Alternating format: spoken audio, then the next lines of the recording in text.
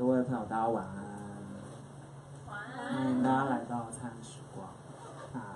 呃，谢大家在呃激情的选举后还来参加今天的讲呃对谈活动。那很感谢文化台湾基金会跟就是跟灿时光一起合办了今天这场呃谁在展演新人上的文化实物对谈。那当中一定有很多观众呃很多朋友也是呃。新南上或者说东南亚事务的职务工作者，那其实就很希望大家在听完两位讲者的分享之后，也可以做一些提问跟做自己的经验分享，也可以。然后在，诶，这声音会不会太小声？有一点一点，不够激心很累，不知道怎么转了。喂喂喂喂，这是有 echo 吗？然后就是我们活动前都还是要跟大家介绍一下书店，不知道现场有没有人是第一次来参时光的？有吗？有吗？好，每次都会有新朋友，就很开心都可以见到新朋友。OK，那参时光已经开开业三年多了，那这边是一间东南亚主题书店。那大刚刚大家从楼下上来有看到了有两两面书墙，那有一部分其实都是在三年多以前，呃，书店创办张震先生发起了一个带一本自己看不懂的书回台湾的运动，然后这些书其实都是透过去东南亚旅游啊、经商或者说求学的呃朋友们一本一本带回来，就是要提供给台湾的新住民或者说移工、留学生等等的朋友可以做阅读的。那这些三时光的书都是可以借借回家，然后有一个特别的要要求，就是说我们希望大家在上面留下你们自己的心得，或者说要画重点，用荧光笔画也可以。就大家如果在一般的图书馆或租书店，可能没有这个福利，不过我们希望就是大家在阅读完，在书上留下心得，都可以成为与下一个读者交流的的内容。然后，另外大家在靠近楼梯这边的书墙看到都是中文书，然后在这边的选书大部分都是以东南亚的文化或者说政治、社会、历史等等，还有移工、新住民主题相关的书籍为主。那就是蔡时光其实一直在推广东南亚的试读，希望大家大家把诶、怎么讲？就是台湾有非常多的移移工跟新住民，可是大家想一想，我们是不是很多人都对这些意象还是很陌生的？那其实就是也也回到新南向这个主题，其实呃公部门有付投注了非常多的经费跟努力在推广大家认识东南亚。那灿烂时光其实也就在这个趋势下的呃获得了一些便利。那我觉得这个其实对大部分台湾民众来说是很重要的，去认识我们邻近的国家，然后把东南亚也放进我们自己的世界。对，那跟大家简述一下今天活动进行的流程呢。那我会先请秀仪给大家先拍手一下，就是是标先刘秀仪，然后还有台北电影节的策展人郭明郭明荣。他们会个个别做二十分钟左右的短讲，然后接下来我会就他们呃短讲的内容去做一个简单的提问，然后接下来的时间就交给大家做交流。OK，那我们一开始会先从秀仪开始，秀仪也是书店的常客，他就住住在书店，没有很远的地方。坐公车来了。OK，跟大家介绍一下秀瑶，秀来自马来西亚，然后其实在呃他做的很多的创作里面，谈了非常多关于东南亚的，尤其是马来西亚的历史，或者说帝国跟个人怎么从个人的记忆里面去谈到整个群体，或整个国族的东西，然后它又跟台湾的社会有什么关联？然后我们接下来就把时间交给秀仪，大家放轻松。OK OK，好，谢谢。呃，好，呃，各位听众朋友，大家好，我是秀仪。然后，呃，今天就是想说，因为昨天昨天晚上脸书的同温层一片哀嚎，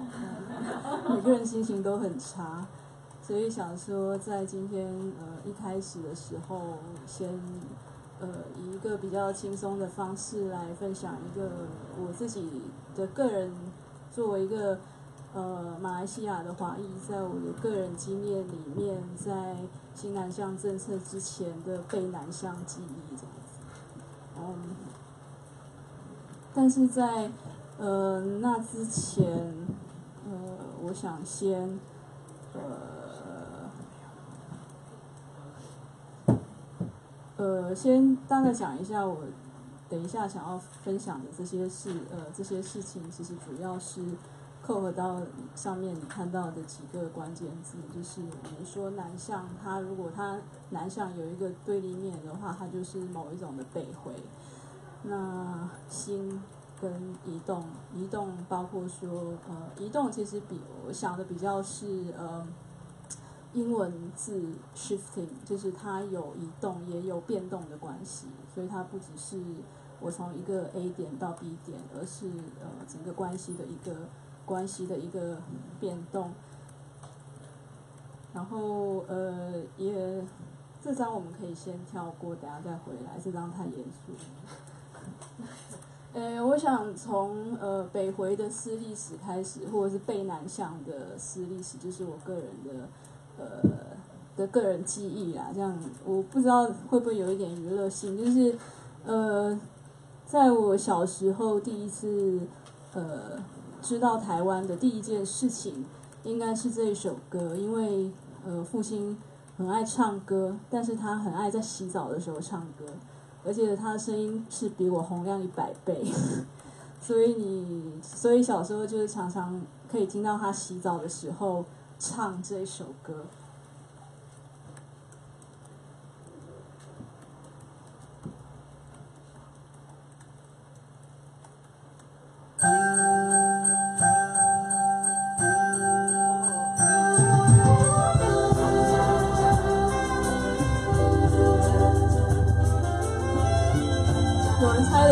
是什么歌吗？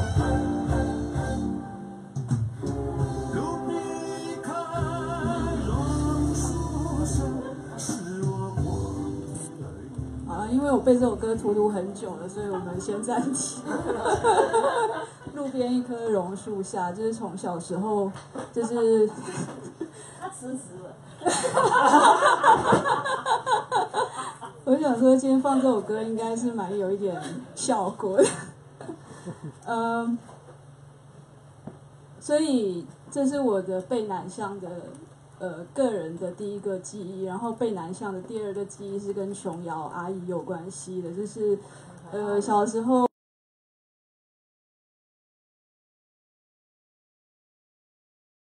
时候琼瑶的电视剧在新马一带非常的流行，所以呃我记得是小念小学的时候就是会。呃，因为那那时候还是放那个录影带的时候，所以因为我们家小时候没有录影录影带的机器，所以我都到我外公的家去看电视。然后我记得是，呃，我爸妈都会规定说，你一定要先把你的功课做完，然后你晚餐之后才可以去看电视这样。然后，所以我的第二个背南相机是琼瑶的鬼丈夫。嗯，我会讲这两两件事情，是我觉得它其实，那我们在讲南向这个这个词的时候，我觉得它很有趣。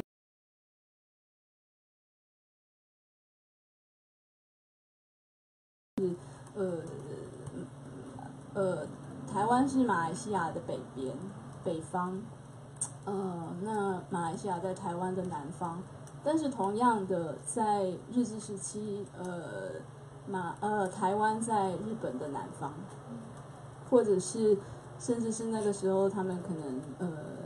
台湾总督府把呃台湾总督府就日本的台湾总督府把台湾视作一个呃往南方扩张势力的一个呃中介站这样子。我觉得这里面其实呃当谈到东南西北的事情的时候，我觉得它其实有一个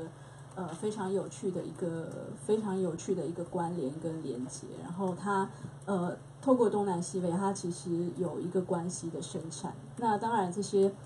东南西北的关系，它其实并不是，呃，一个永远都是这样子的一个，呃，这样子的一个关系。那我们就回到，就是回到跳过的呃那件事情。我想这两个概念其实对，呃，我原本是想放说，其实他对我的创作是有蛮大的一个呃蛮重要的一个想法啦。那第第一个部分是，嗯，今天我们在想南向这件事情的新南向这件事情的时候，其实，呃，既然它已经被赋予了新这个名，它新已经在南向的前面，那可是其实很多人他其实并不知道说到底到底什么是旧南向，如果有新，它是不是有一个旧的？那，那姑且我们暂且把这个。我们把它称为呃曾经发生过的南向，呃称之为旧南向这件事情。那嗯，它其实是一个嗯，变成说我们在看这件事情的时候，我们其实往往会忽略了一个历史的角度。可是呃，其实在整个嗯，我不是一个历史学者啦，就是我只是一个喜欢乱看东西的艺术创作者。那在我自己的认知里面，我觉得历史它其实并不只是关于一个时间轴的关系，它其实也包括了呃整个地理空间建构的一个呃一个过过程这样子。然后呃下面第二个想法就是嗯，今天我们所有的呃关于地理位置的定位关系，其实都其实都是被一套呃地图的嗯。绘制法或者是测量法所框架住的，就是透过一个麦嗯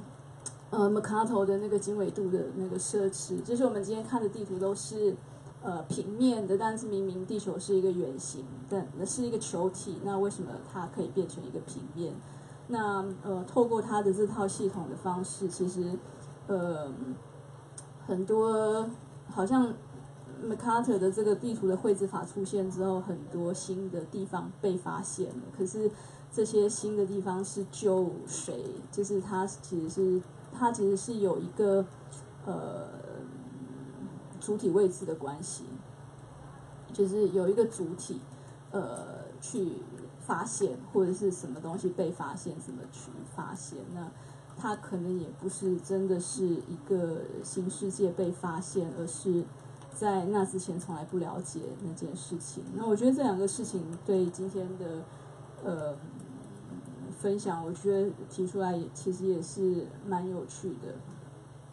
那刚才我们讲到说一些呃方位的一些关系，就是这这里面其实只是讲了一些。那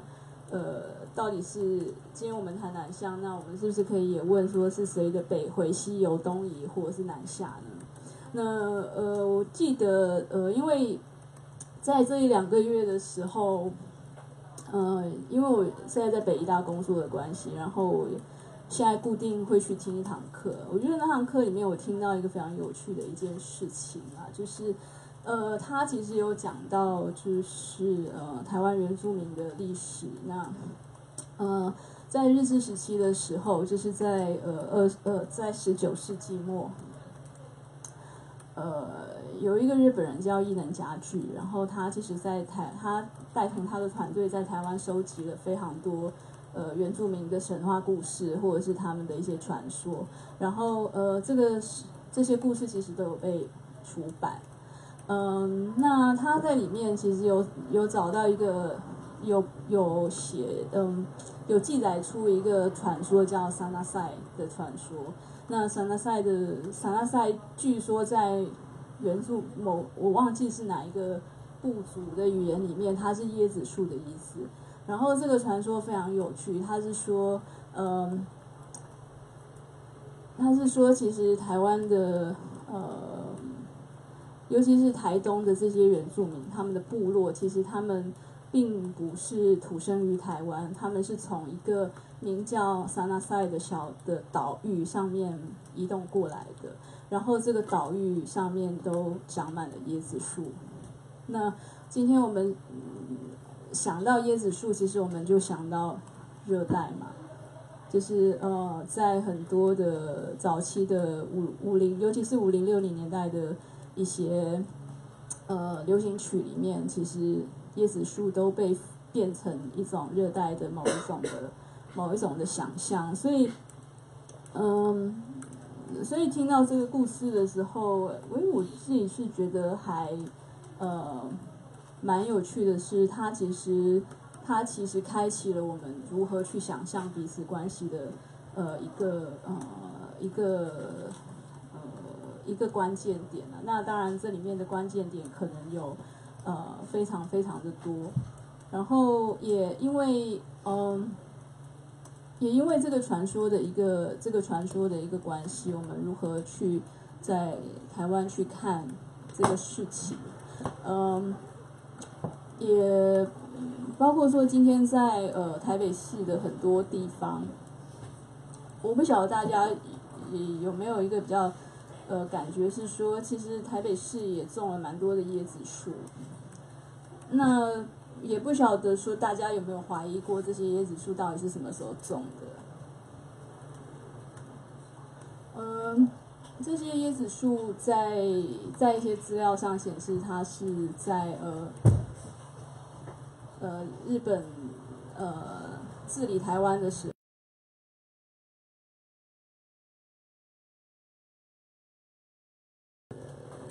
候，他其实，在在台湾种了很多的椰子树，把这里当做是一个乐园，但是他其实也启动了某一种南方的想象，因为这里面其实启动的是一个更广大的一个政治意图跟一个权力部署的关系。所以，呃，一开始，当我们一开始的时候，我有讲说，如果我们今天谈新南向，那是不是有一个旧南向呢？那这个旧南向其实是一个，嗯，殖民权力或者是一个，呃，统，呃，一个权力扩张或者是权力部署的一个非常庞大的一个非常庞大的一个结构。呃，这个是，这个是，呃，在。嗯，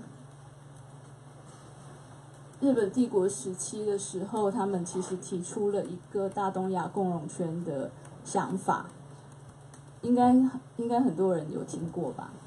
是南靖，南靖跟南向不一样。嗯？南靖，那是那个名字叫南进。对，我我我的意思是说，我们今天去嗯。就是我们今天去想说，新所谓的南向，不管是南向也好，或者是南进也好，呃，就是当我们有一个南方的一个，当我们有一个南方的一个紫色的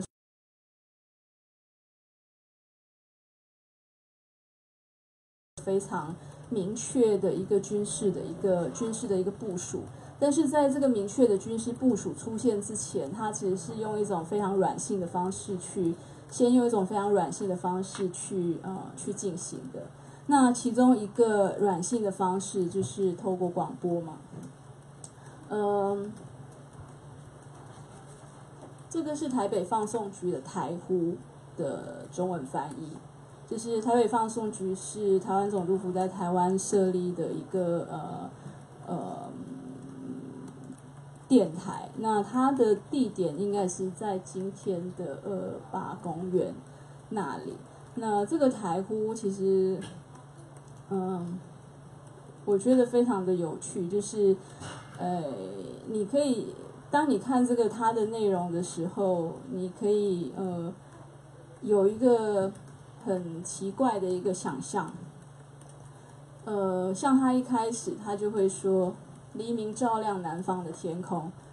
呃，为什么是南方的天空？是说今天台湾也是某一个南方。送话筒中宣告日出文化先驱放送，天线高耸，电波变响，无远佛界，就是呃，就是呃，广播的那个讯号，它其实是可以触及到非常多的一个。它其实呃是呃非常强烈的某一种的讯号。所以其实，在呃台湾总督府时期，其实他们首先的软性，其中一个软性的一个方式，就是如何从呃广播这件事情去呃让台湾变成一个中介的发送基地，广播的讯号的发送基地，呃，再从台湾把讯号发送到呃菲律宾或者是到新马、泰国这些地方，嗯。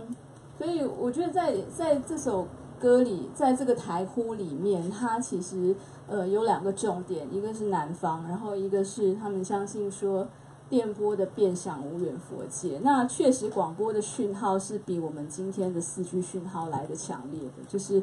如果你是在一个可能你手机的四 G 讯号完全被屏蔽的地方，但是你还是非常有可能。可以，你有，如果你有一台老式的收音机，你还是非常有可能收到电台的讯号。所以，嗯，这是某一个，呃，这是当然它的某一个南向的一个，呃，一个一个切面。那当然我们知道说，后来这个政策，它有一个比较柔软的一个。事情后来变成是一个非常激进的一个军事的行动，所以它从南向变成了南进。那今天如果我们在讲说，如果我们今天在讨论所谓的新南向的时候，嗯，我们可以如何去嗯检讨这件事情，或者是呃如何去思考这件事情？那我觉得这件事情它其实并不完全的嗯。悲观，它其实它其实可以是一个让我们重新呃审思，不管是马来西亚跟台湾，或者是其他东南亚国家跟台湾，或者是台湾跟其他东南亚国家的一个呃彼此之间的一个彼此之间的一个关系。那呃在这里面，嗯呃，我想呃。在新南向的这个方向里面，其实我想说，它其实有一个，呃，有几个问题，我觉得是，或者是有几个事情，我觉得是可以，如果等一下有机会的话，我觉得是可以讨论，呃，讨论看看的。在，但是在那之前，因为我其实刚刚才知道说，可能要谈一些自己的一些个人的经验。那我想说，呃，去谈一些，嗯。呃，呃跟我自己的创作比较有关系，然后又好像可以跟南向或者是新南向，呃，或者是台湾跟东南亚之间的这个关系有一点呃联系的。呃，我想应该主要是呃最近做的呃两件作品，《南洋情报交换所》是一个呃我自己觉得。不是很成功的剧场演出，但是，嗯，不好意思，因为我只有照片，嗯，呃，在这个在这个演出里面，它是呃十月初的时候在实验剧场演的，在国际剧场艺术节的节目，然后在这个演出里面，其实是想要透过一个呃台湾籍的。日治时代台湾籍的一个情报员去，呃，谈说，嗯，台湾跟呃东南亚之间的一个，跟尤其是跟马来西亚之间的一个呃关系，然后呃那个剧情发生的场域就是在一个平台上，那这个平台它可以是一个，呃，它可以是一个岛屿的一个指射，或者是呃一个。擂台的一个一个紫色，那这里面其实呃有想试图要尝试去处理的是当中的一个嗯位阶移动的一个关系，就是呃权力移动的一个一个关系。那另外一个是现在在台北双年展展的一个作品是呃特别帮台北双年展做的一个作品，那个。作品的名称很长，《椰林冰城宴与情报员的生死恋情》，其实是其实是因为他们当初找我的时候，我是跟他们说完全没有时间做一个全新的，所以我问他可不可以从那个剧场的演出发展衍生出另外一个版本。他们说 OK，所以我就做了这一个作品。但是这个作品的切入角度是比较是，嗯，因为今年台北双年展的主题叫后自然，所以其实比较是从自然系统去谈这个问题，是从，嗯，呃，从日治时期的台湾总督府他们怎么在台湾建立起所谓的南方的自然系统，然后这个南方的自然系统如何变成南进的权力部署里面的其中一环，那。呃，这里面提出的两个比较明显的一个元素是所谓的叶子树的紫色跟马的紫色，就是呃，讲一个很简单的事情，就是因为其实马是温带动物，然后我们知道说，其实现在我们不会说台湾是一个温带国家，那其实台湾的夏天对马来说是非常残酷的一件事情，嗯。那马，可是如果你翻一些资料的时候，你会发现说，其实，在呃日治时期的时候，尤其是呃大东亚共荣圈的想法快要被提出来的时候，其实在台湾出现了非常多的种马牧场。种马所谓的种马就是呃可以作战用的。那原因是，嗯，当时候他们想要让这些种马可以在台湾先适应南方的天气。然后再去呃做一个权力扩张的一个权力扩张的一个一个动作，所以呃，所以是在这个作品里面是想要试图用一个嗯呃这样子的一个呃一个切面去谈呃呃谈台湾、日本还有马来西亚之间的一个一个关系。那嗯。我觉得，在呃，因为我觉得今天谈太多我自己个人的作品，也是一件非常奇怪的事情。那，所以我其实是想，我在准备的时候，其实我其实有想了一些问题。那我觉得，呃，在当我们在想要，如果今天想要谈南向或者是新南向的时候，我觉得有几个问题是，呃，需要被需要被反问的，就是。除了刚才的所谓的南向跟北回，或者是东南西北移动的方位的问题之外，其实呃，我们知道说，其实东南亚国家里面没有一个国家的国语是中文，嗯，所以这里面其实牵涉了所谓呃，它其实牵涉了语言的问题，那语言其实牵动了文化的问题。其实语言跟文化牵牵也牵动了所谓的未接的问题。呃，像如果我们回到说一开始我的第一个被南向经验榕树下，其实对这个被南向经验，并不是全马来西亚人都会有这个被南向经验，因为其实呃语言有它的一个呃在马来西亚有它的一些族群的。呃，不能说族群有它的一个嗯分布，意思就是说要听得懂榕树下，或者是会接受榕树下这首歌作为当时候的某一个流行文化的一个元素，它必定呃大部分时候它必定是华裔嘛。那华裔在整个马来西亚的人口结构里面，其实只有大概接近两成。那在这接近两成的人口结构里面，不一定每个人都会讲中文。呃，像我有的朋友，他是完全是受英文教育长大的，所以在他们的世界里面不会有榕树下。所以你可以大概看到说，这个切片其实是非常非常的非常的小的。那所以今天如果我们要谈南向，或者是要谈新南向，其实。呃，语言是一个非常呃重要的一个一个呃问题。那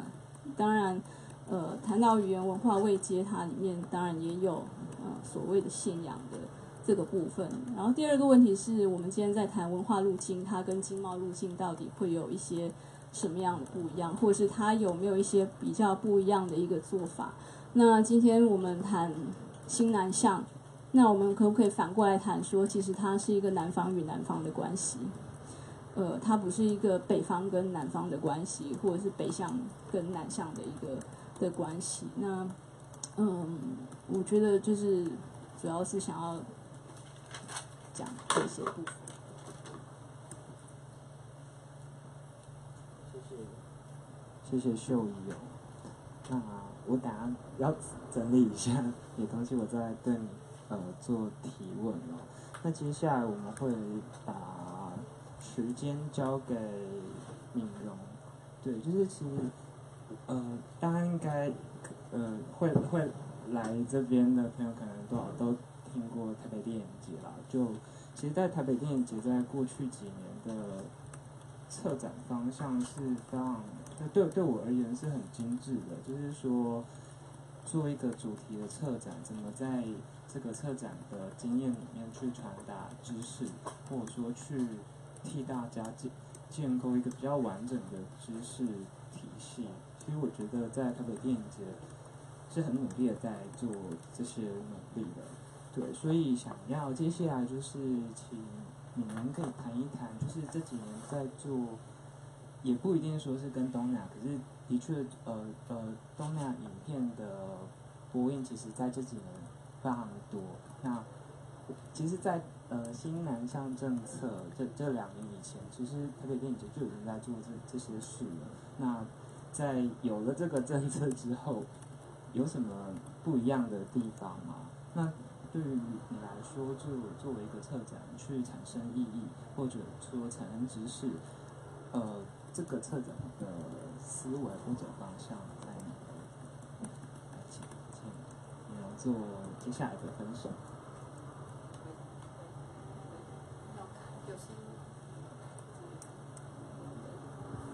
喂，好，有声音吗？OK，好。那个一开始的时候，我要先，我要先做一些，那叫什么东西啊？就是 confession 这样子，因为我在呃，我没有我没有准备像秀一样的 PowerPoint，因为我那时候在前面沟通的时候，我比较以为这一段是用问答的方式这样子，那所以我刚刚在看，我们刚刚在上面对的时候，我才发现，哎，完蛋了，就是秀仪准备的这么的，准备的这么的完整这样子。那呃，因为那个时候在之前讲的时候，比较是说看从呃跟这个题目的从分享自身经历的方式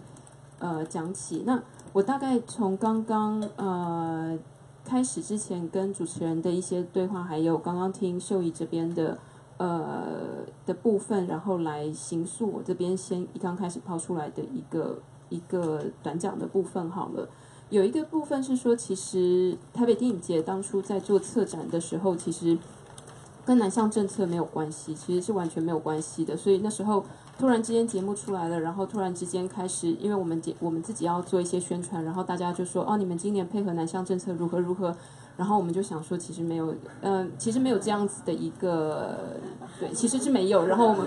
然后就就突然之间被套了一个大帽子这样子，然后。然后结果后来的时候，我们就回来再讨论，就说，哎，有这个南向政策，文化部感觉起来应该有蛮多资资源的，我们赶快去抢一些这样。然后没有想到，因为呃，因为某一种呃申请补助的一种方式，所以其实我们也都没有，也都没有办法去去搭配这样子。就是我们要假装我们是一种南向政策的产物，结果也没有成功。对，但是但是因为也有一种误打误撞的原因，就反而。反而呃，因为这两年在做东南亚的一些节目，所以跟南向政策，不管是文化部的哪一个哪一个面，哪一个部分，像出版的部分，或者是影展的部分，或者是一些就比较广泛的东南亚事务的部分，反而有一些参与或有一些旁观，所以呃，比较是从这样子的角度跟南向政南向政策的部分产生一些关系。那我还是有一点从头说起，呃，我是怎么样子对于呃东南亚的这个节目。开始产生产生好奇跟产生兴趣。我刚刚一直在听呃秀仪在讲说，她对于南南方或者是呃台湾跟她从自身经验所出发的这样呃马来西亚这样子的一个对话或者是想象来说的话，我发现我其实对于东南亚的想象，其实是从我在呃国际影展跟东南亚的导演们接触的时候，他们所 feedback 回来的。也就是说。我其实出去在各个影展，因为工作的原因，我在国际的影展看影片的时候，我其实比较主要是在看国家影片，或者是看哪一个导演的影片，就是有某一种旧影片、就论影片这样子的方式来看。但是后来我在影展之间的时候，我发现，一者是呃，你认识在东南亚的。当然，我觉得这样子的时候，他马上就生出另外一个问题，就是我马上就我马上就跳到东南亚的导演这样子的方式来，重要的电影人来讲。但是，的确这也是某一种他们在呃国际影展的时候的一种生存之道。我在呃国际影展碰到，比如说我讲假设好了，碰到一位越南的导演，然后他会开始讲说，哎，那个菲律宾的谁谁谁也在这边，然后马来西亚的谁谁谁也在这边，然后新加坡的谁谁谁也在这边。然后这样子逐渐的，他们会把 Southeast Asia 这一个集体的名词，或者是说，当我后来逐渐到各个国家去，然后跟这些呃导演们去碰面的时候，东协这样子的一个概念，我发现是蛮蛮呃蛮常被提出的。也就是说，我发现那个集体的，我是一种在外以外人来讲，在观察的时候，发现东协东南亚这样子的概念是他们会摆在自己的，他们会这样子用来指涉自己。所以我的想象反而是以这样子的方式，呃，来称呼的。那呃，我自己在谈，我我我自己在谈东南亚这一块的时候，其实我觉得我也会，我等一下在讲的东西，其实也会有蛮多的自我批判，这样子。对于策展的部分自我批判，这个原因是为什么呢？因为其实就以我其实有点惊讶，刚刚导演不不，刚刚主持人所说的，因为其实我并不觉得台北电影节在做东南亚这个这个专题上是细致的。其实说老实话，我们在做的东西比较盖棺。因为呃，台北电影节作为一个大的、比较大的综合性的影展，其实比较难做呃很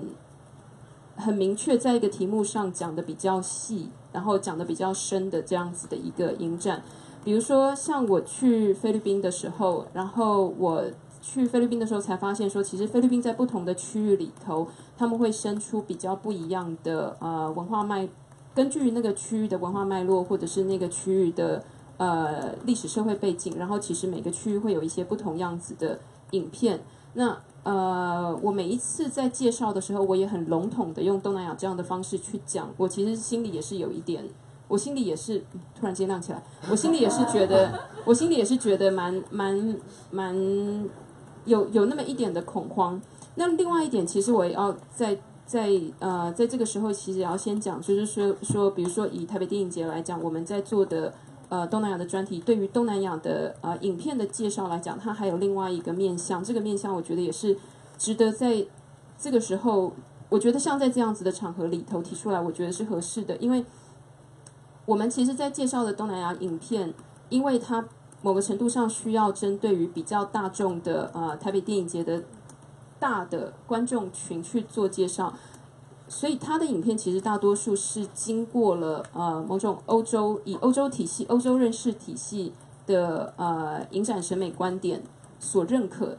的影片，有这样子的有这样子的一个背景。那还有另外一点就是说，我所接触到的导演或者是所接触到制片这些这些电影人，其实都是英文沟通，我们都是以英文沟通，所以他们然后他们的英文都还蛮好的。可是这个东西相对应来讲，呃，除了菲律宾，它其实是以菲律宾跟马来，呃，菲律不是马来西亚，那个新加坡，就是我比较有常在接触的菲律宾跟新加坡，它其实是以有英文算是蛮主要的一个语言沟通语言以外，其他的其他的区域，比如说以泰国来讲，我接触的泰国导演英文都非常的好，那呃。目前比较有接触的，像是柬埔寨的导演，也是属于英文比较好的这一些。这个部分其实某个程度上也代表了我所接触的这些电影人，其实他们在呃成长的背景里头，他们的社经地位，或者是他们的教育，或者是他们甚至蛮多都是在呃国外有留学过的经验，所以然后再回来，或甚至在国外长大的经验回来的。所以我首先要先讲出来，就是说我所这边介绍的呃导演的背景。有一些是属于这个样子，而且他可能还是属于蛮大宗的。那另外一点是说，这些导演们他其实，在呃在走的一个体系，因为他们知道他们自己本地的呃资源非常的少，所以他们其实非常的积极的在找区域间，一者是区域间我要怎么样子合作，二者是我要怎么样子去找到，因为在国际间有不少的影展或是不少的资金是针对于呃针对于第三世界国家。有方定，有资源的，相对上来讲，其实呃东南亚国家的一些导演，他可以进到呃第一，就是比如说欧美国家的一些资金体系里头，他然后然后台湾是没有的。台湾的导演，如果你是一个纯台湾的导演的话，其实你拿不到一些补助，或者是说他可能对于有些东南亚国家，他们有谈某一种 package，然后是可以保障名额，呃，到有一些呃工作坊里头，然后台湾是没有的。那所以说，他们我所接触到的时候，是一个以非常积极的态度，呃，跟甚至是一种求知欲，想要知道我要怎么样子出去，因为我在这里头我找不到我的，我找不到钱这样子。那所以，比如说他们到台北电影节来的时候，或者说他们听说，呃，你是来自于其他影展的时候，他很他很快的问你说，你们有没有工作坊？你有没有认识哪一个资金的呃那个选片人或者是策划单位这样子的一个方式去去呃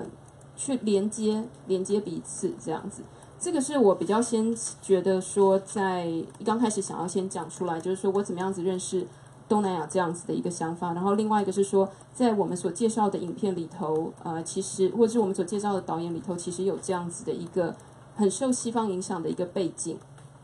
也不能讲说受西方影响，而是说受到以影展来说，受到影展的那一种呃，受到影展的美学判断标准这样子的一个方式。但是这个东西我觉得更有趣的是说，在影展跟影展之间的一种呃介绍吧，引介吧。因为我曾经在菲律宾的时候，有，呃，我去看了菲律宾的一个影展的影片，然后里头其实我蛮多影片一看的时候，我就知道说，OK，这个我因为我是为台北电影节工作，所以我看的时候我就觉得说，这个影片台湾的影展观众不会看，我并不代表说台湾的观众不会看，或者是呃，就是台湾的影展观众比较不会看，因为它是属于十分商业的影片，然后它里头的明星或者是它里头。讲述故事的方式是非常针对当地观众的，所以他可能没有一个呃 crossover 的一个可能性，因为我们并不认识他的演员，或者是他里头的他里头的那一种呃笑话，他也这样子，他也是传递不过来的。所以其实反而比较有趣的是说，它是属于一种比较精英式的呃精英式的一种文化被。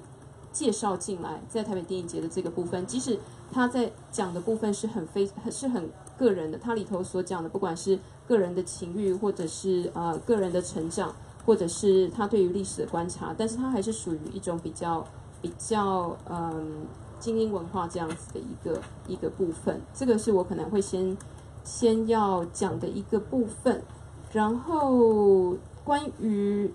关于台湾对于。可是我们这几年在台北电影节所介绍的时候，观众其实还是偏少。就是以观众来讲的话，当然以我们所，当然其实我觉得南向政策有另外一个好处，就是大家对于东南亚的想象，或者是说东南亚的一个存在感有比较高一点。所以说，可能在学校，或者说可能像是像是在这样子的场合里头。呃，所举办的一些活动，所以大家会有一些好奇，然后会来看。但是他们还是比较属于呃一个小众。以台北电影节的综合性影展来说的话，它其实还是属于小众的部分。那所以我们其实，在谈的时候，我们并不会谈得太深。然后我们在谈的时候，其实也比较是从作品所出发的。这个是呃，我也会我也会讲出来的部分。所以像刚刚秀仪所说的一个比较。从区域的区域之间的影响，或者是说我们看的角度，或者是说一些比较历史背景的这个部分，其实，在台北电影节的时候，比较除非是导演或者他的这部影片有这样子的脉络，让他们可以呃在一些映后座谈里头，或者是说在一些采访里头可以讲的比较深，不然的话，其实说老实话，如果讲的越 specific，他讲的东西越呃越精的时候，其实反而越越难介绍进来，因为大家会跟他离的。就是一般观众会跟他离得太远，所以反而变成要出来的东西，能够能够被介绍进来的东西，反而是一种有有有，它是它是需要有某一种的，即使是在影展层面的一种普适性，所以这个东西就可能是比较吊诡的一个部分了。对，那我可能再回应一下关于说呃在我其我因为我稍微比较还是有点不好意思，因为我没有那么多的准备，所以大家有任何问题的话可以问啊，我就会比较有办法把我的经验的部分再丢出来这样。但是我刚刚有想到另外一个部分，就是说在我所旁观或者有些时候，呃，有呃，不管是官方或是民间的单位找我去参加一些相关于呃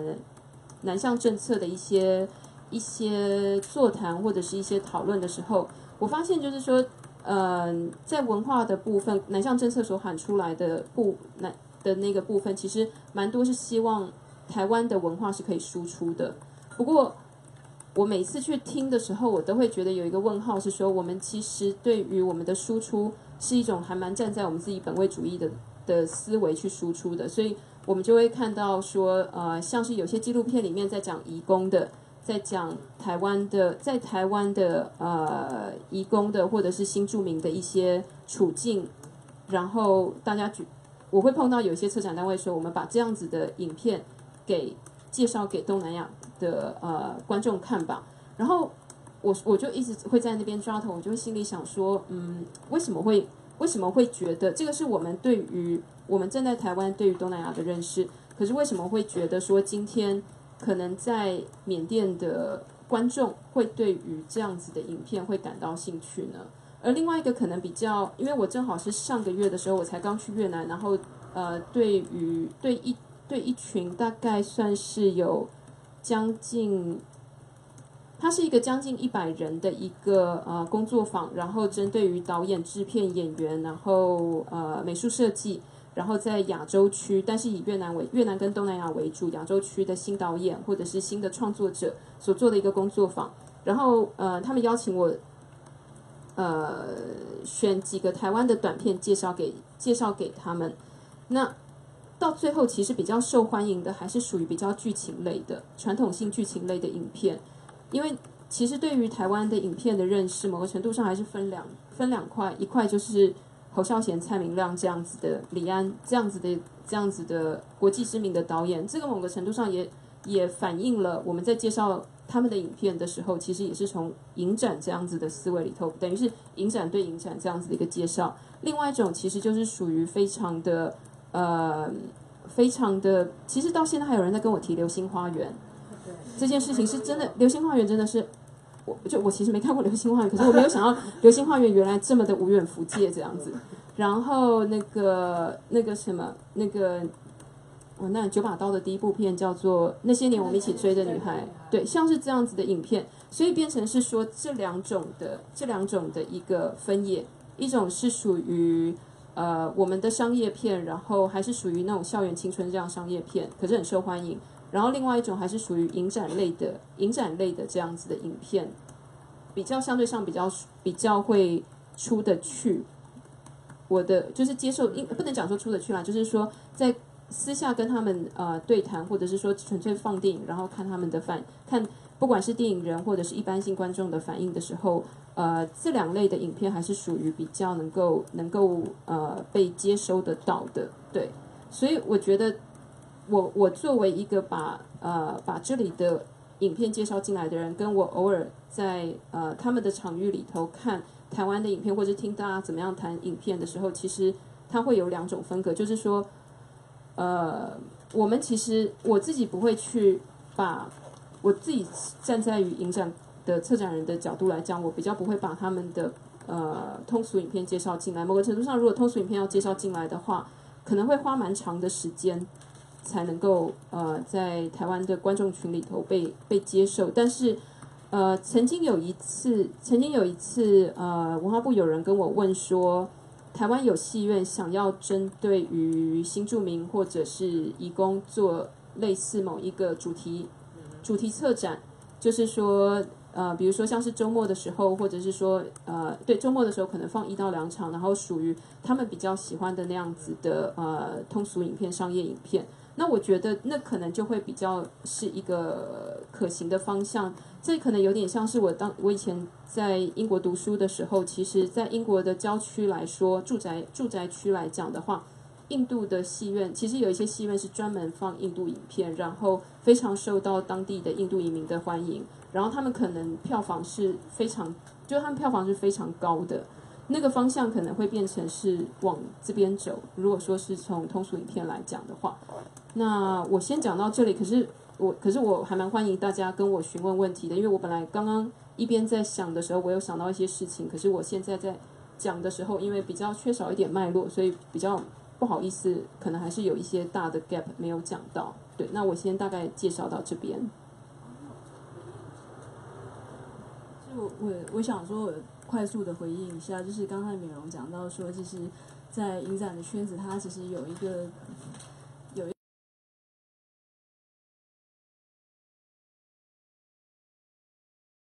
它其实也有一个东南亚艺术精英俱乐俱乐部。那 就是你你其实。因为如果你参加这些呃东南亚艺术家联展或者是国际性的联展多了，你就会发现说那个艺术家的组成其实那些名字几乎都是一样，他只是可能这次少了一些人，或者真的是他其实只是同一群同一群人里面的一个不同的一个呃不同的一个排列组合。那呃另外一个方面，我想呃顺道讲的是，其实呃其实我一。大家可能也知道，说其实日本政府，它现在的日本政府，它其实也有所谓的南向政策。那其实他们是做的非常非常的彻底的。那我我想，这日本政府的南向政策，包括在日治时期的时候，它其实除了提出大东大东亚共荣圈这种南进的呃南进的这种呃战呃暴力的策略之外，其实呃他们在其实，在另一方面的一些文化的一些呃。研究上面，其实他们也做的非常非常的彻底，这是其实也是不得不佩服的一些地方。除了说，呃，在台湾像艺人家具，它其实收集了、采集了非常多原住民的神话，这是台湾人自己都没有去做的一件事情。然后他把它做了。然后其实当时候在呃呃在台湾的日治时期的时候，其实日本人也在所谓的更南方的地方，就在东南亚，他们找了一群呃学者，他们去。收集了所有的几乎所有的东南亚跟演艺有关系的一些资料，出了一本书叫《南方演艺记》。然后这里面其实有包括了非常多的呃不同东南亚国家里面的剧场、跟电影或者是戏剧表演或者是游乐园的很多的一些资料，都写的非常的巨细靡遗。我是自己是看不懂日文，但是呃我是透过一些会日文的朋友帮我把一些章节呃大概。跟我解释一下，我才我才会发现，这是我想回应的第二点。那我想回应的第三点是说，其实也不一定是说，呃，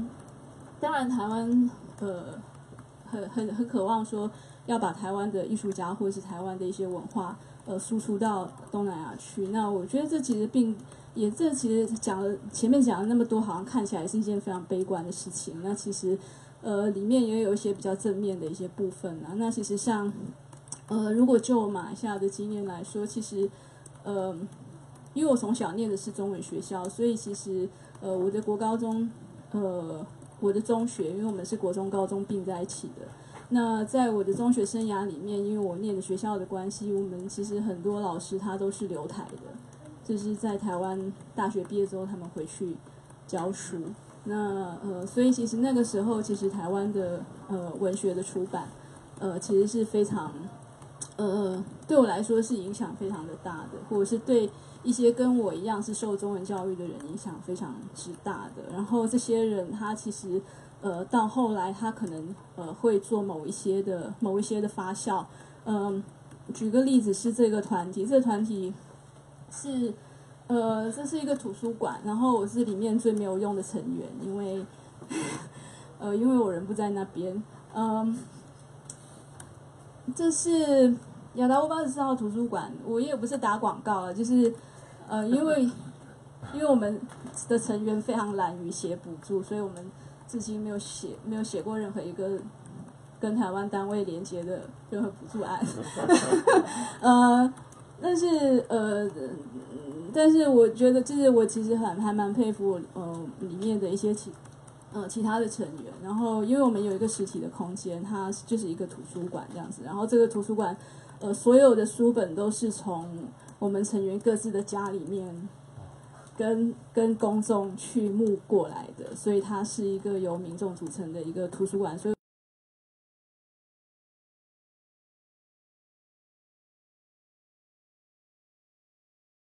非常有趣的是，因为其实我们的成员大部分是受中文教育的，所以我们的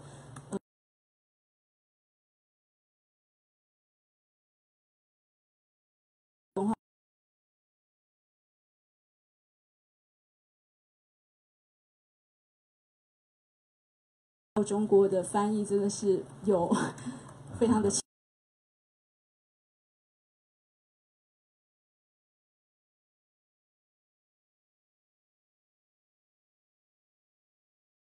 的坐标可以变成一个呃区域性的，不管不只是吉隆坡，还是一个区域性的一个网络，这是这个远大的宏愿，不知道什么时候可以实现这样子。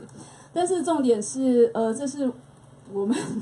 办的一些活动，但是在这些活动里面，其实嗯，我觉得台湾的影响其实还是还是有的，就是而且呃，我觉得你可以。呃呃呃，在可能在你的意料之外的，像，嗯，比如说在我们经常性办的一些读书会，呃，我们就是我们这个图书馆，坦白说借书的人非常少，然后还书的人更少，但是。嗯，但是我觉得其实我们办大量的，我们其实举办非常多的一些活动，然后我们都是以乐捐收费的方式，有一点像，呃，有一点像灿烂时光的感觉啦。然后我们再把这些收费再把它存到给讲者的微博车马费跟一些呃日后的一些呃活动里面，然后租金是我们每个成员。每个人自己每个月自动的把它存到银行里面，这样子，就是尽量以租金的这个方式不去影响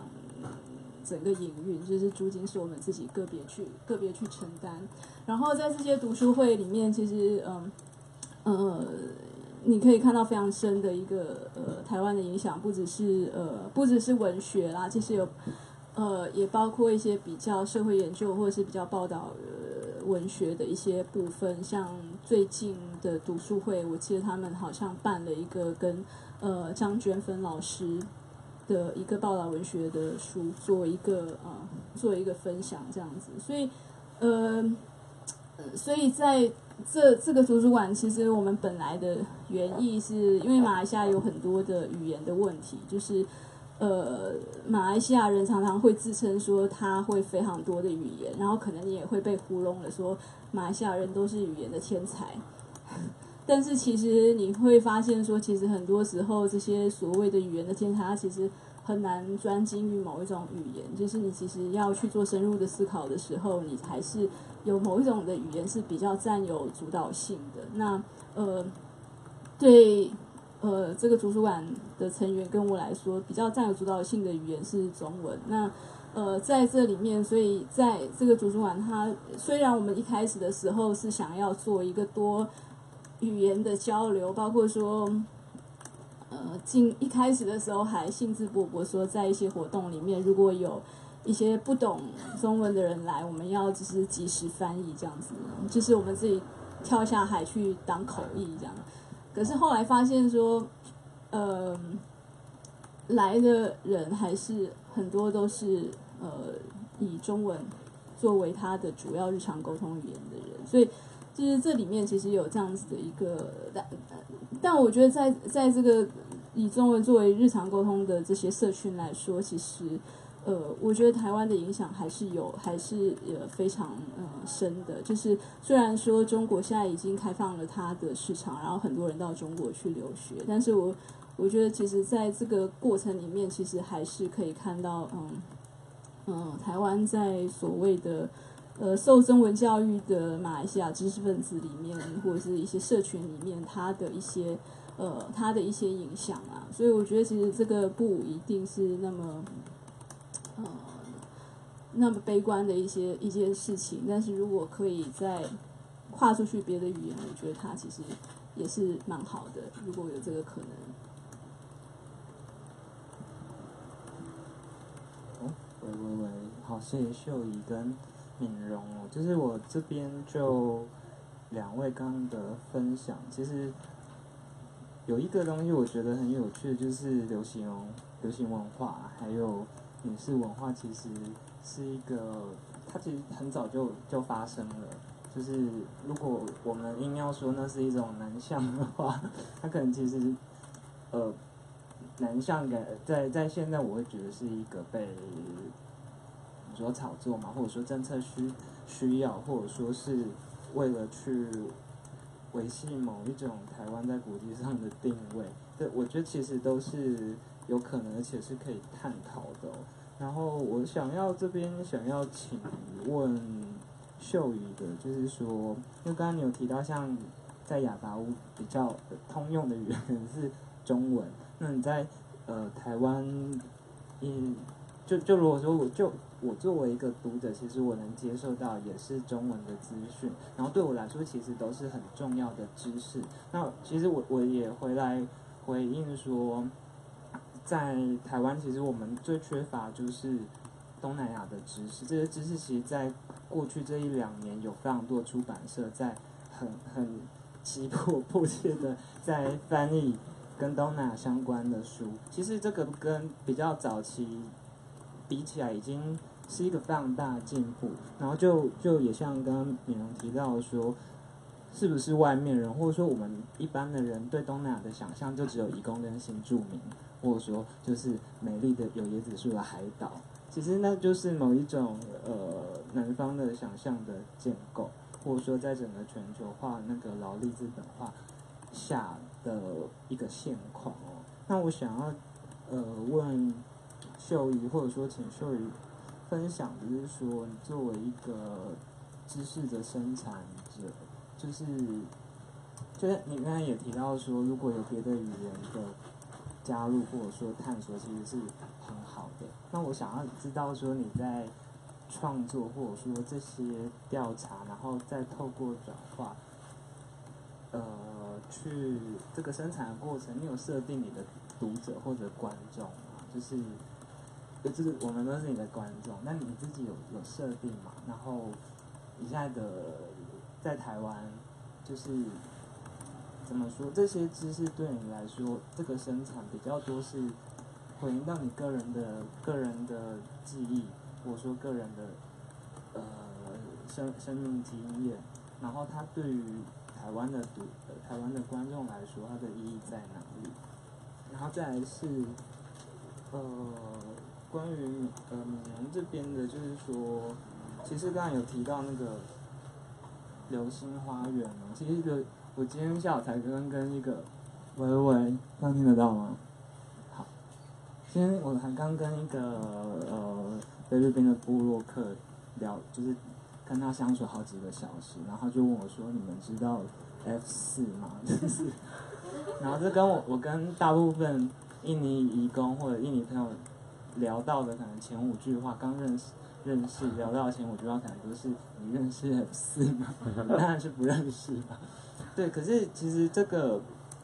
我我必须说，我觉得流星花园真的是一个非常成功的新 新南向产品，呃南南向的产品啊，就是说在呃新南向这三个字都还没有出现的时候，它就是已经也达到了现在政府想要 嗯，好。其实我觉得它其实反映的是，如果台湾现在就是如果东南亚对于台湾的想象还留在二十年前的流星花园的话，表示我们从流星花园之后没有没有东西了。其实我每次听到流星花园的时候，我比较担心的一件事情是，流星花园之后就没有。然后之前是琼瑶，没错，我以前大学的时候也是碰到马来西亚的同学的时候，他说他有全部的琼瑶全集，然后我就心里想，我都没有看这么多，但是但是的确接下来就是呃琼瑶。流星花园之后，除了那个那些年，其实进来就没有了。对，就是，这就是一个。其实你知道，就是《流星花园》现在在印尼还有菲律宾，它都一直在重播。大家只是以一种看新剧的心情。哇，跟阿信，对啊，而且哦，就是补充一个小知识，就是《流星花园》是印尼的影，就是电视史上观 那个观看率，不管它重播或者说第一次放看的是就是收视率最高的一出剧，远远超过他们本地的那个 Cinetron，就是本地的乡土剧或者说时装剧，就是流行文化真的是太厉害了。对，不过这个就是我觉得也是回来思考说，还有呃这些流行文化跟影视产品的，就是它呃怎么怎么出去，然后什么都 会进来。对，这个其实是不一定今天要讨论啊。我其实想要问敏荣的是说，呃，刚刚有提到说，因为语言的限制，其实接触到比较多的电影工作者是用英文沟通。然后像我今年纪录片影展是四月嘛，对啊，四月的时候有一个印尼的导演，他要来，我跟他见面，然后他是完全不会英文，然后他就说，我就说那你怎么跟影展的工作人员联系？他说他都全部用 Google 翻译回。就是也是蛮厉害的。不过他有提到一个问题，就是说他在 Q&A 的时候，他其实没有办法讲太多，就是呃，他可能连用印尼文都要用比较简单的方式去谈他的作品，就没有办法谈得太深。那敏荣这边，你会不会希望未来其实是可以去挖掘一些，就是他们可能在在本地是做。就是它的国际串联没有这么多，然后在本地是，就是它的本地的连接是更强的这些电影工作者，然后怎么找到这些人，怎么去交流，就你有没有一个想象？我大致提这两个问题，然后，你记得吗？然后我，然后我要说，就是这个回应之后，就我们的时间就交给观众，其实呃，大家里面有一些熟面孔，有些在住在印尼，有些在泰国，有些在柬埔寨，有很多实物经验的朋友，都希望你们可以做一些分享或回馈。我我先我先就流行文化部分先做分享。为什么我讲说流星花园？其实他讲，就是如果台湾。想要把自己的文化输出，如果我们先我们先用非常功能性的方式来讲，南向政策就是以文化部的，不是以文化部来，就是说以以现在的政府执政执政政府的想法，就是我要把我要把我的经济实力，然后文化实力这样子输出的话，其实我觉得这是一个我自己觉得有一点悲观，因为呃，就比如说就印尼来讲好了，其实印尼在影视影视。嗯，影视生产上面还有影视产业来说的话，其实它现在非常的强势，它其实非它其实发展非常的强，它是呃，我印象就是几个礼拜前所读到的，它现在是全球呃票房好像是占呃前十二的样子，然后它的 OTT 的部分也发展的非常的也非常发展的非常的好。也就是说，其实他们的他们逐渐兴起的中产阶级，然后在消费自己本地的本地自己出品的那个那个影视产品上面来讲的话，其实是非常就是那个东西是非常蓬勃发展的。那呃，所以说像是有一些大的 Netflix 接下来的一些案子，一一刚开始的时候，比如说像是。呃，韩国其实刚刚秀仪提到，就是说日本对于东南亚的这个部分的文化经营其实是蛮强的。那到现在其实也还是韩国也一样，在这个地方的文化经营是蛮强的。讲一个比较简单的是说，当我去东南亚参加一些影展的时候，这些影展的规模并不一定大。那其实很多时候也是非常需要呃各个国家的各就是在那个国家的各个呃大使馆。去支援，然后我觉得我永远看得到日本，就是 Japan Foundation，等于有点像是，呃，它的一个文化文化交流机构，然后还有韩国的部分也常会看得到。然后其实像韩国的那个大的娱乐产业 CJ，其实在东南亚其实已经布局非常非常的久了。呃，不管是一刚开始的时候以合合就是合伙的方式。或者像现在在印尼，它是直接直接投资这样子的方式，其实他们的触角都伸的还蛮里面的。那所以台湾如果想说我们要怎么样子把自己的流行文化产出，尤其是以我们的电视产业来讲，跟流星花园那个时代完全是不能比了。那我们的流行音乐，我想也我没有那么的了解，但是我觉得就是我们其实在这个地方逐渐开始弱弱下来的时候，去，然后一厢情愿的会想说我们什么样子的东西会输出去，而其实自己这些很多东南亚的国家，其实自己本地所产出的流行文化，其实已经在呃自己本地的消费已经算是很足够的时候，我觉得那个政策其实是有一点有一点需要再思考的，这个是一个部分。然后刚刚所提到的是关于语语言的部分，语言的部分，呃，其实其实我觉我自己的方式其实比较都还是去呃各个地方各个地方的某种呃电影文化，电影比以影展啦影展来讲，去它的那个它的那个地方，因为当我们去到其他国家的影展的时候，确实就会看到的是比较已经被选过的。已经会被选过的人才会出现在一些其他影展，比如说是釜山影展啊、柏林影展啊等等等这样子。但是到了当地的时候，其实就会出现比较多元性的，呃，多元性的一个影像产出。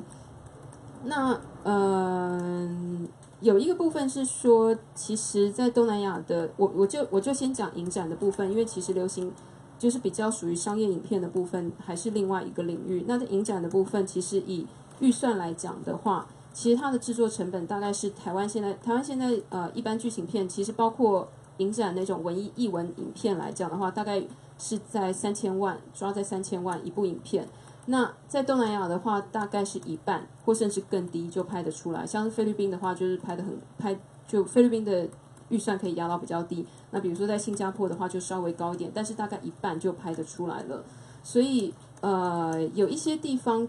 拍摄的东西其实还算蛮多的。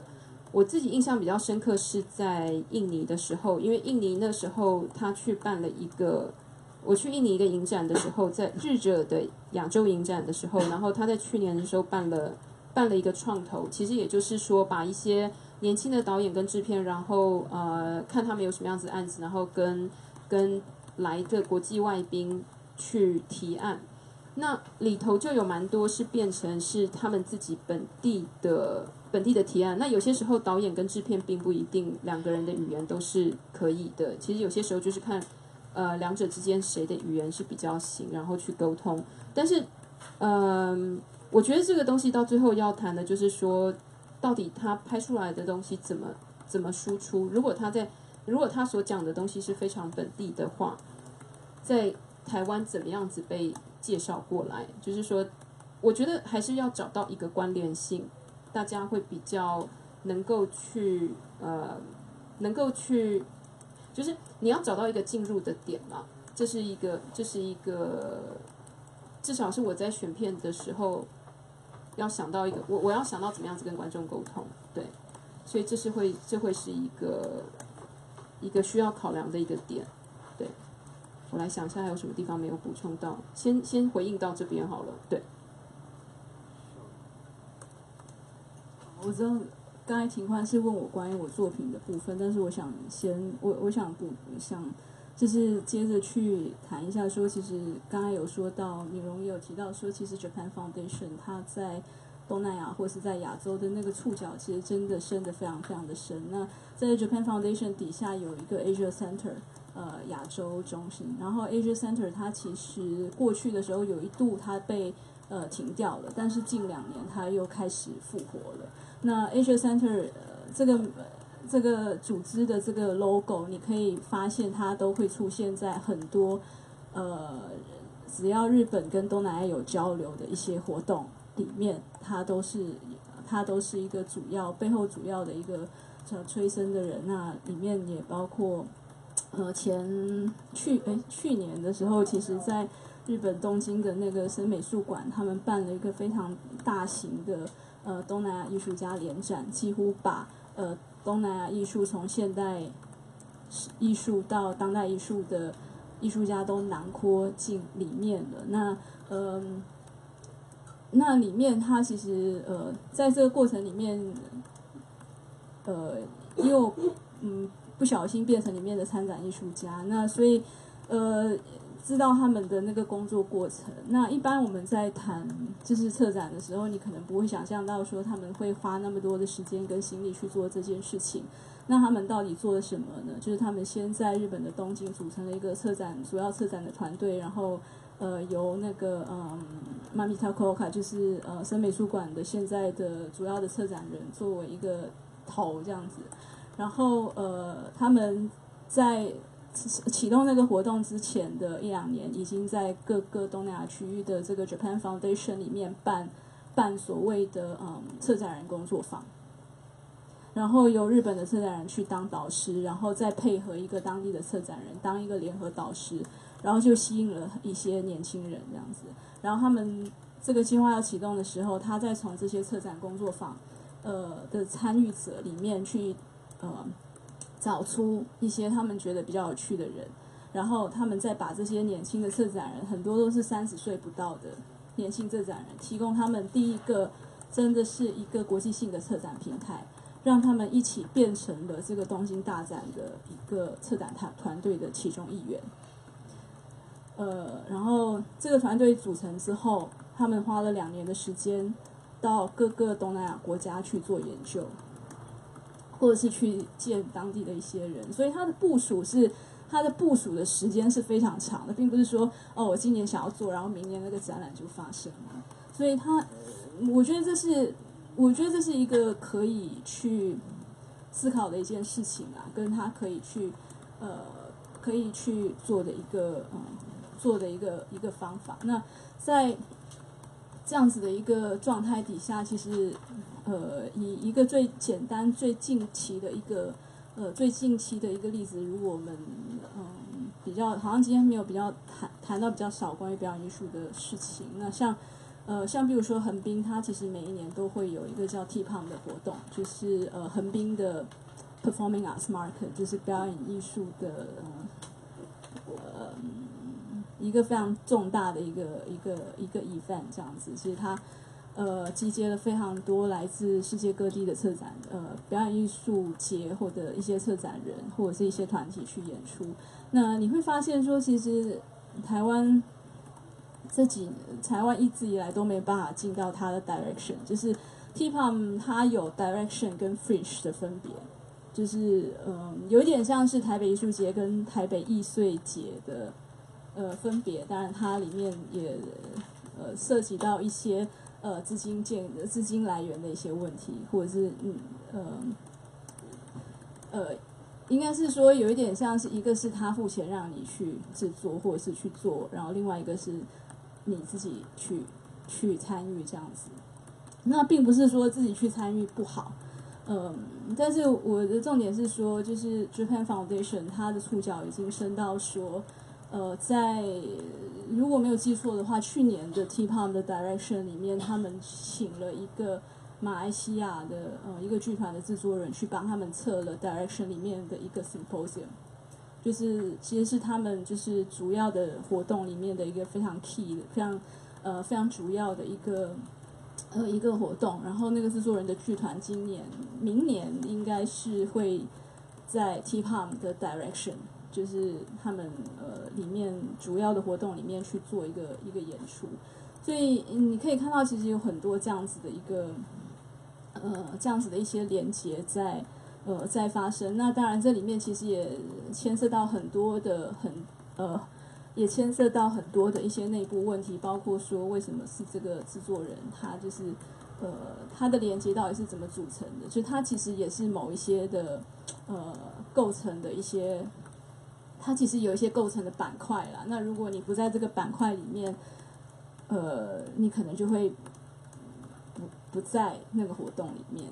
那这是这是一个一个点。那如果，嗯，我觉得在我自己个人的作品的部分，我觉得其实今天在这个场合谈我个人的作品，到底那个观众在哪里？我觉得是一个蛮 蛮奇怪的一件一件事情啊。那嗯，我我想对我自己来说，我创作我其实嗯呃并不会。其实我最近有在跟一个朋友在讨论这个问题啊，就是说。你到底要做一个可口的作品，就是一个可以被拍照跟可以被呃很容易被观众接受的作品，还是你要做你想要做的？他说你你自己选啊。然后其实，在在讨论的过程当中，我觉得说，如果今天这个作品有很多人在里面拍照打卡，可能我也会一直在狂骂。所以那不如就做自己想的，或者是自己感兴趣的一些一些问题。那确实在我过去的作品里面，其实探讨比较多是跟马来西亚有关的一些呃事情。那嗯，其实在今年的时候，因为我现在比较时间比较多是在台湾的关系，所以我其实呃一直不断，我觉得这是我一直不断的在面对的事情啊，就是我怎么去看我自己在这里的位置。那我我坦白说，我也不能是呃，你也不能把我当做马来西亚代表，因为我不代表所有的马来西亚人。那呃，在呃在这样子的一个状态底下，我觉得像嗯。今年我有尝试，就是去面对我自己的呃目前的当下的一个呃生命状态。就是既然我已经在台湾工作，这是这个事实，那呃怎么去就是怎么去回应呃一些事情？那这个回应的事情当然必须要跟我自己呃有关系，我觉得才我觉得他才有办法继续呃继续延伸下去这样子。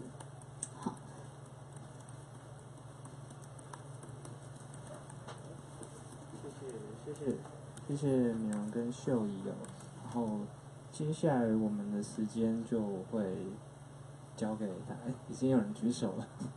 好，那我呃先跟大家说明一下，就是请表达提问或者说做回馈的朋友也介绍一下自己，然后包括你为什么要来。相信文化台湾基金会也想要知道他为什么要来。OK。那我就先把麦克风传给我们书书店之友。邻 居邻居。嗨，大家好，我是秀敏，秀敏你好，好久不见。我是秀敏哈，然后是算是书店的常客，因为我住非常靠近这里。诶，我想再讨论一下语言的问题，我觉得语言问题很重要哈，所以想深入讨论一下。诶，刚刚一开始，呃，秀仪她有讲到说，这个呃华语或者华文不是东南亚语言任何国家的国语，好，然后你就说，哎，这是语言的问题，这样，啊，但是你没有很深入的讲到底，呃，这个呃华语或者华文不是东南亚 国家任何国语造成怎么样的一个问题，所以我想请你再。再讲一下，就是那个那个意思是什么哈，然后这是第二第一点，然后第二点是关于语言的问题，就是说，诶，我觉得的确大家在讨论这个呃输输出台湾所谓台湾文化的时候，还是被这个呃你们这里叫国语嘛哈，国语为主的这个框架，我觉得有点被绑架住，哦，所以大家都一直在讨论说哦什么的 F 四啊什么的哈，那这有两点想补充说，其实。呃，F 四好像已经消轰了，对，二十年一直在重播，天哪！呃，但是台湾的呃乡土剧在新马是一直都很红的。好，那在新加坡有个奇怪的现象，就是新因为新加坡有那个那个方言政策嘛，哈，那乡土剧就要被被这个配呃配音嘛，就成为国用用用华语剧，就觉得很奇怪。但是大家对于呃这个乡土剧，好在新新马这一块一直都是很受欢迎的，所以这个台语或者闽南语哈，作为一个台湾跟东南亚这个连接哈，我一直都没有看到很多人去谈这个这个问题。然后这个问题不是说只是现在才发生，因为这个闽南语作为一个。东南亚呃，大部分华人社群的通用语言，那是那是闽南语是一个主要的一个语言哈。然后另外一点就是，很多人也可能不知道说，其实印尼话里面的闽南语的字很多，好，印尼话里面已经是可以说是已经是诶被这个在地化了，所以有印尼印尼语里面呢，哦，已经有其实有很多福建话的。所以这也反映说这个这个呃历史的关系，所以我觉得很多人都好像就把这个闽南语给丢掉了哈，在我们在谈这个连接的时候，这是第一。然后另外一点就是呃，大家每次谈到南向，然后就会把原住民文化给给完全的忘掉，好，因为我每次会我我我跟我的马来族的朋友谈起台湾的时候，他们就会很好奇，好奇的部分其实是原住民。哦，那当然台湾也台湾，你知道说啊，有什么什么什么语啊，跟马来话啊很相似，大家都知道。可是大家都会停留在那一点，然后就懒得去去去再去发掘有什么样的关系。但是其实很多的这个我的马来朋友，他们都会想问这个原住民这一块。哦，可是你们输你们讲到输出台湾文化的时候呢，从来都没有想到说要输出让大家更了解台湾的原住民文化，所以就是移工新住民停停留这样。对，所以我觉得这个是需要被挑战吗？或者被跳出那个所谓以国语为主主的那种框架。好，然后这个是这个是一个，另外一个也是关于语言的问题，就是刚才秀也有听到，然后呃。这个敏锐谈到说，那个主要交流源是英语嘛，所以在台湾呢比较比较 complicated，就是你们又又要通过英语来作为一个另外一个媒介，这样，所以它就是有一个很奇妙的那种语言复杂性在里面。就当你要输出这个文化的时候，我觉得这个这个语文的问题，或者可以从就是我我我刚才我看我刚才是整理出三个这样的一个问题，然后这样的回应，好，谢谢。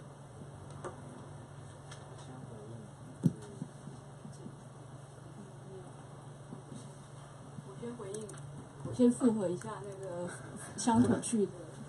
就是马来西亚有一个呃独占市场的第四台叫 Astro，然后 Astro 有一有一台就是叫呃 Astro 花喜台，就是欢喜台，就是它里面其实大部分都是在播台湾的乡土剧，呃，这是这是一一个，然后另外福建歌也是非常福建歌就爱比亚爱比亚嘉伟嘉言呀。我不会，我是广东人啊，我的我不会讲福建话，但是我我知道这些这些歌听到已经那个快 快被快被轰炸了。然后嗯，另外呃另外一件事情是说，就是呃，当我我觉得跟呃秀敏在谈到最后一件事情是台湾说呃台湾在输出所谓的台湾的文化或者是呃。一些事情的时候，呃，他为什么不会想到呃原住民或者是一些比较呃不在主流的位置上面的一些一些团呢？那他呃，我觉得这个问题其实是可以扣合到我当初的一个，就是你第一个问的问题是说语言的问题，就是你在问你你你你请我说就是去再去阐述一下为什么要提这个这个东西。那这个东西是非常有趣的，像嗯，其实我觉得这里面也牵涉到说，嗯，其实很多时候一些文化交流的建构，其实台湾的这些驻外的外交机构，他们可能也要扮演一定的角色嘛。那可是非常有趣的是，这些台湾的驻外机构，他们在推荐作品或者是在推荐，呃，在筹办一些交流活动的时候。他很多时候都只，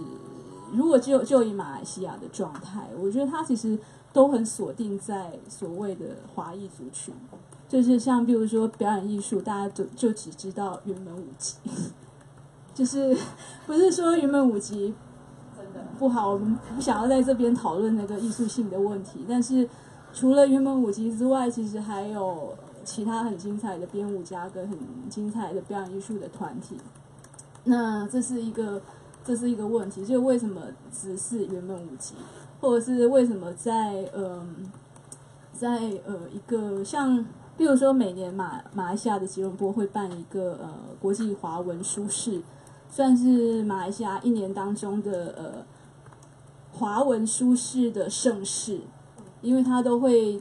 解，他都会选一个呃就是马来西亚的学校的假期。就是学生放长假的时候的一个时间点去主办，然后是真的那个书市真的是很像菜市场，就是会有非常多的人在里面买书。但是很有趣的是，其实嗯，台湾馆的一些活动里面，他们都会比较偏向，嗯，一个是他会比较偏向说去呃找一些比较流行文学或者是流行文化的人去。呃，去呃去做交流，那这是一点。但是其实，在很多的这个交流结构上。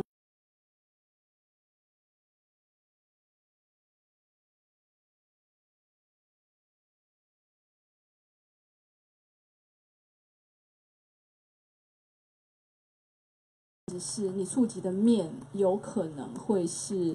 呃会是比较广的。那可是为什么不选择去做这个相对艰难的动作，而要选择一个非常速成的一个方式，用一个呃你现有的一个对象群？可是问题是你可能每一年都是这个对象群众，那这个群众是坦白说，他可能也不会再扩大了。那呃，你在策略上面可以怎么去？就是为什么在选择上不去走一个相对更呃更艰难的一个呃更艰难的一个路径，跟呃你当就是去了解呃当地的一些文化的时候，其实有一些更深入的一些探讨。我觉得其实其实日本在这方面真的做的非常的呃。再非常的成功，你再不情愿，就是你再不情愿，你也没有办法否认，呃，他们在这方面所付出的非常非常多的一些呃一些努力。然后讲一个可能大家不会想到的一个冷知识啊，就是马来西亚在一九六九年的时候有发生过一次呃族群的暴动，叫五一三事件。那这个族群的暴动跟一部台湾的流行电影非常呃。有一个很奇怪的一个连接，就是在发生这个暴动的期间，其实电影很多的电影院它其实在放映一部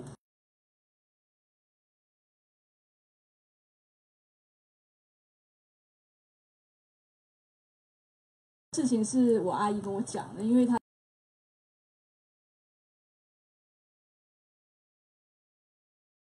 停掉，然后外面正在爆。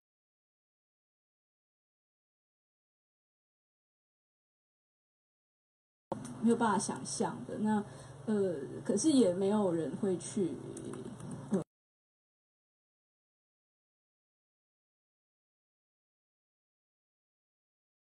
的一个发展或者是开发这样子。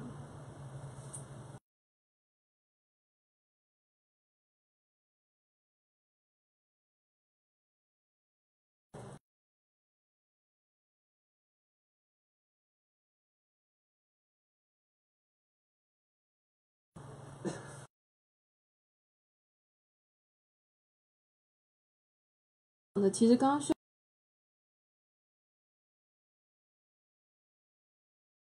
方式，一个是关于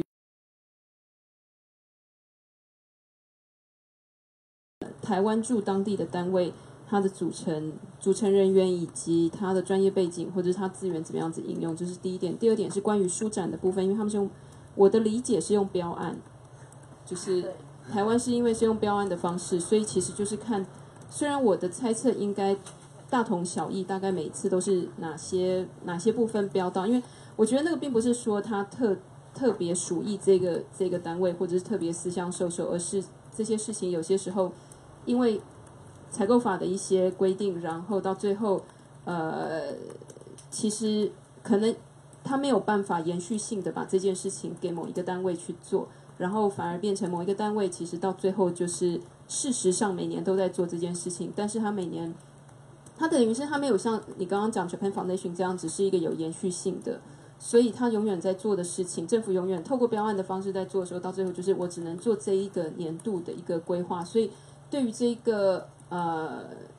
他他没有一个比较长远性的一个规划，然后所受到标案限制的那个单位，承标到的那个单位，其实也没有那么多的资源去为。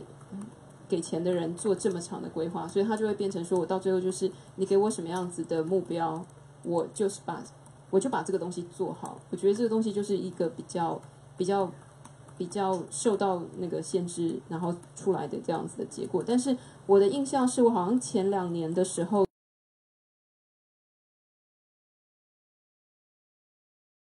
好在介绍的是夏曼兰波安的的那那一年的那个 feature，他的作者。是夏曼兰博安，所以我觉得那时候也觉得说，哎，其实也有人在看到这个部分，对。然后另外一点也是刚刚你所提到的，对当地的当地的那个，我觉得他还有另外一点就是说，当地的我们这边的想象以及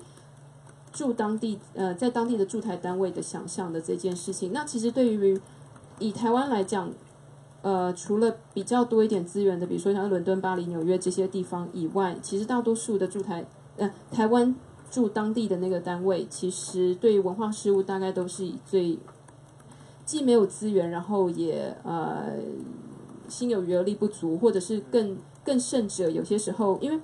我自己讲一个跟东南亚比较没有关系，但是我自己的经验是，那时候台北电影节要做某一个欧洲东欧国家的东欧国家的一个专题的时候，因为我们自己本身有我们自己的电影上面的脉络，然后我们可以去联系到一些，呃，找到我们要的资源，然后联系到我们想要邀请的导演这些之类的，然后我们在台北电影节就宣布了我们要做什么样子的一个单元，某一个国家的 focus 单元，结果我在台湾接到了，呃。那个外管就是台湾驻那个国家的外管打电话来责骂我的电话，说为什么我去那边的时候没有跟他们打招呼？然后我就心里想说，我为什么要跟你打招呼呢？然后他们就觉得说，你今天是台湾的单位，你要来做这个国家的呃专题，结果你竟然没有透过我去做这样子的一个一个专题。我就说我今天没有，我今天台北电影节拿到补助，既不是你给的，也不是外交部给的。而你也不是这个方面的专业，然后我们我们也在做这件事情了。请问一下，你到底为什么？我为什么需要跟你报备？结果没有想到，最后我们这个驻台单位在他当地开了一个记者会，然后讲说这些呃，今年将在台湾透过他们的帮助，有这些国家，这我们这个国家的几个导演要来台湾呃放映他们的影片，然后这些是他们的功劳。啊，然后我就心里想说，真是。真是还蛮，真是还蛮会抢功的这样子，就是先把你骂了一顿，然后到最后发现你没有他他没有办法要求你放向他作为一个合作单位的时候，他就绑架这些人说是，对，是他所引介进来的，这个是我觉得比较，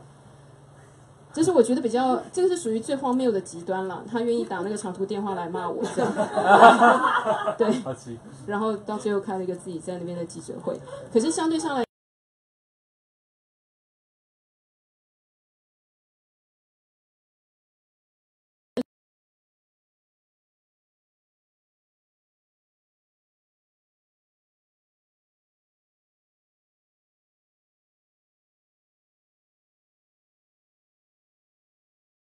觉得他有他的，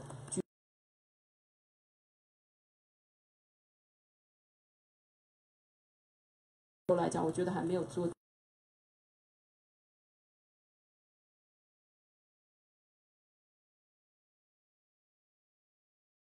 英文的那一块比较像是说，比较。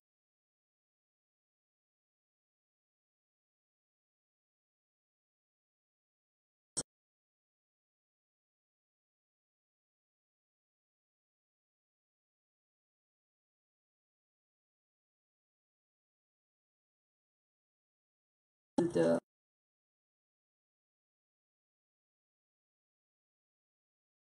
很强，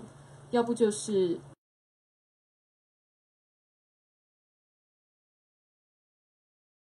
怎么样子在玩。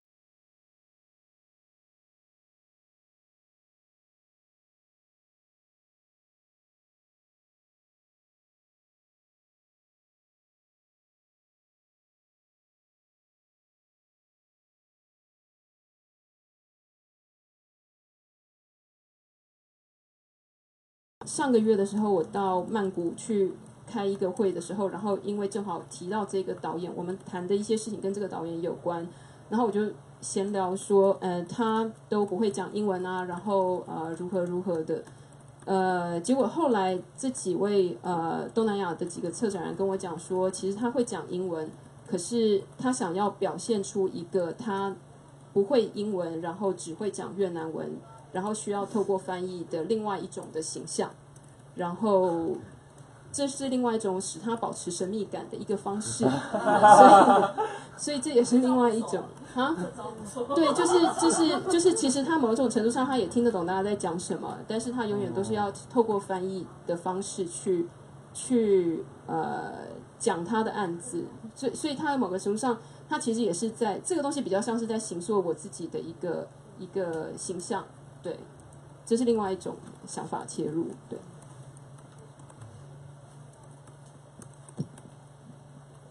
我们这个有直播没有关系。有直播没有关系，没关系。哦。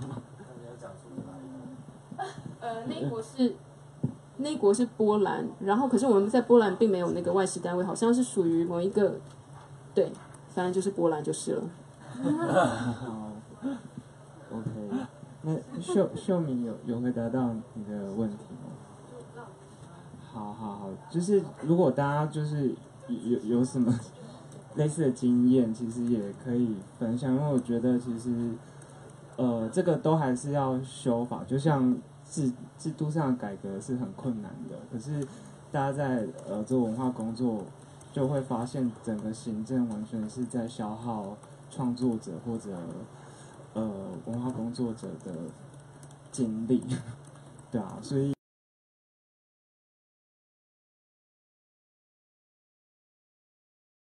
呃，今天这这些我们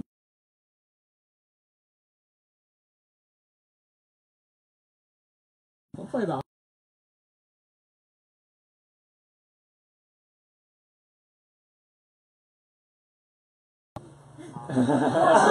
为了什么？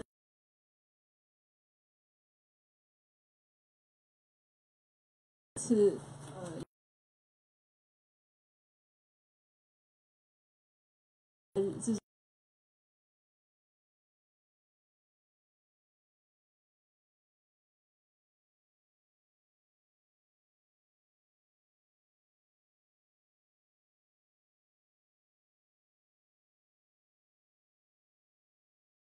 嗯，里面其实他们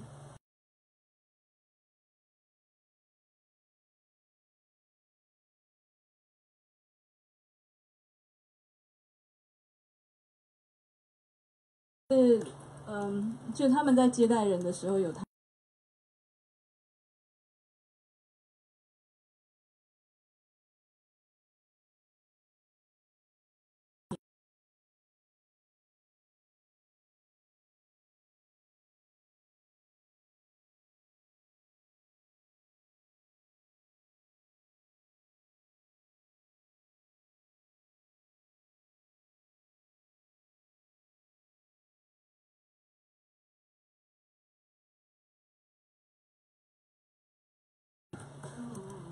然后，如果你是同一个团体，你连续申请，你可能又会被怀疑，或者是会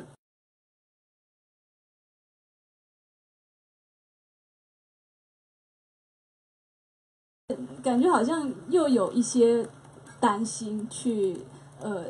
感觉好像补助单位又好像有一些忧虑。那可是，可是这里面其实是很吊诡的，就是其实很多时候，呃，一些。嗯，比较深层的交流，它其实是需要累积跟呃时间的去去去建构的。那嗯，那我觉得这里面的那个逻辑可能要被改变一下，就是就是如果说我是发散式的给，然后希望每一个人都有这个机会，可是如果每一个人都有这个机会的时候，每一个人都是以那个第一次的方式，就是我只是去拜访那些艺术团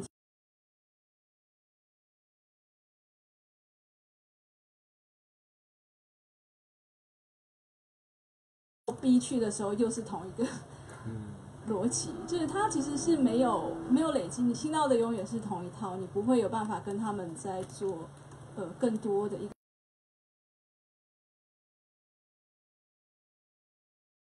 其实连接到的是一个真的是整个结构面的一个一个问题，跟你的规划面的一个问题。请问麦克风在哪？有没有人要做提问或者回馈？真的？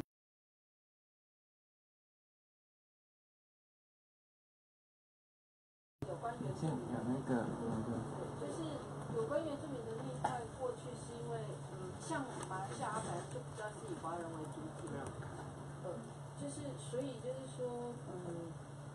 就是。所以是说，如果要跟他们交流的话，因为大部分到吉隆坡嘛，那有东马跟西马，那原住民的话，他会比较喜欢是跟原住民团体接触，所以到东马的台湾的原住民较多，然后到西马的比较少。那因为在台湾的政府分工里面，一九九六年以后就成立了原住民族委员会，所以跟原住民有关的事务交流会由原住民委员会去做。但是因为也因为有原住民委员会，所以他在政府的政策里面会变得比较边缘化。所以只要看到有原字，包括原子笔、原子能，都会放到都会被放到圆明会，然后就是很像一个小政府这样。然后他因为要处理原住民的事务，所以还很难去做外拓的部分。那但是就是说，在亚洲，因为像那个 IPP，他们就有一些就是亚洲的原住民的，属于是会参加那个联合国的原住民族论坛。所以其实，在原住民的网络里面，其实有一个亚洲圈。那它跟我们的华人圈是比较没有连接的，对。那像我二零零六的时候有去参加那个团体，那所以我们跟印尼的，然后那个因为它的总部在清迈嘛，泰国清迈，所以跟印尼跟那个菲律宾的一些原住民团体其实都有在联络。那后来这些这些人也跟原住民都一起去参加联合国的原住民族论坛，对，所以是这样的一个缘故。所以嗯，对。然后政府部门的话，特别是文化部，他们最近。呃，就是说，其实像我所接触，因为我在正大有开那个东南亚通识课，然后他们有新的人员去驻外馆。那驻外馆就刚刚就是呃，刚刚那个敏荣他有提到，就是的确我们国外的那个做文化的那个人啊，很单薄。那那时候是文化部派驻外部的，就是通常他都是会设一个代表处，然后在代表处以后，比如说科技部、教育部、文化部都会有一个驻外人员。那过去在东南亚是没有点，然后他们现在就是像吉隆坡，今年，那去年吧，我认识一个朋友，他就是本来在文化资产局工作，那他就到调到那边，然后他们一开始是还是先处理吉隆坡这边的事情，可是他们发现说马来西亚的原住民还是住在东马，所以他们有也有带着他们的代表处的一些官员啊什么，就去东马访问，然后他们就会透过我们这种。就是有在做一些东南亚研究的学者，然后提供他们一些可以接头的名单。对，那但是老实说啊，东南亚的马来西亚的华人对那个东马的那个原住民也不太了解啊，因为毕竟还是在东马，所以还是要透过很多传的关系，才可以把那个网络关系去建建立起来。所以是这样的一个一个一个原因呢。那嗯，这我觉得是跟长期来台湾对东南亚的南方的不重视，就是说我们过去可能我们对日本啊，对那个韩国都可以如数家珍，可是我们对南方的一些事情，甚至组织其实是不了解的。那我觉得大概就我自己来讲，我是觉得这两年因为新南向的话，真的改变很多，而且几乎这各政府部门都有在做这些事情。然后我的问题跟那个蛮像，就说啊，为什么不整合一下，或者是为什么你们就不联络一下？然后就是呃，我像我们的话，就长期接待那个呃原住民的那个学者啊，不，日本的学者来台湾做研究。然后因为我们常常接待嘛，啊，就是每个学者来啊，他们会带着他们的学生来，然后带着学生到台湾的学者大概都已经四代了，就是师公会带着 那个到现在四代。然后我们有观察到说，他们日本人做事情就很仔细啊，然后。连住的饭店都同一家，比如说哪一个老师的饭店都在同一家，然后还跟那个饭店变成了好朋友，是吧？然后那个台湾人的那个饭店的老板过世的时候，全部的人还会来致哀一下，然后他就变成一个在台湾的日本的一个据点。然后，然后我他们还会告诉我说，我可以说东大的是住哪一间饭店，然后属于另外一个人是住哪一些饭店，然后因为跟他们走交往久，你就会知道哦，他们就是这样的一个运作。可是我们台湾人绝对不会，就是就是各找各的，所以有一句闽南话嘛，不要当就胶刷不修差嘛，就是说就是好像就是。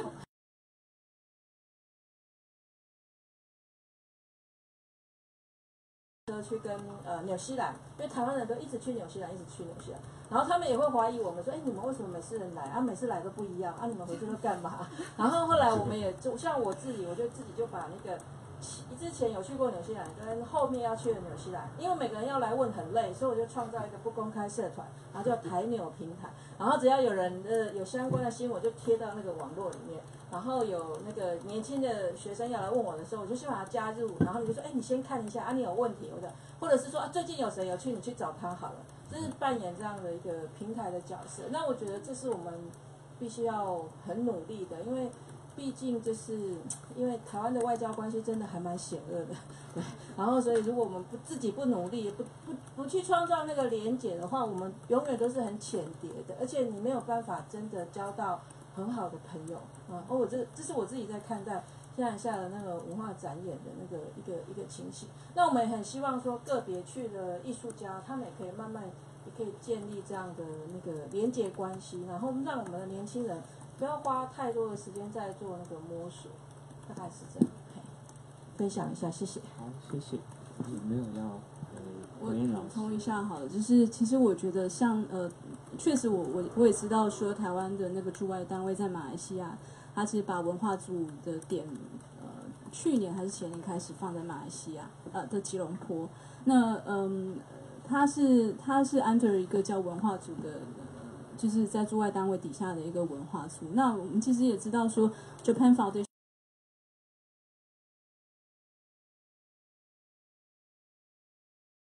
我我想分享的是我自己的个人，就是我自己的个人观察，就是 Japan Foundation 他们每每一次的 director，他是呃，你你几乎会在每一个演出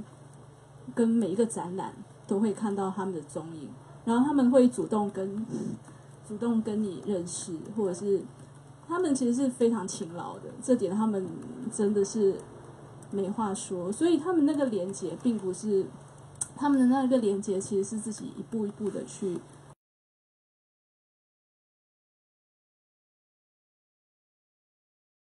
团体，他们都会去。那嗯，台湾的驻外单位我不确定，我因为这两年我也不在，所以我其实也不太确定，嗯，他们到底有没有有没有去做。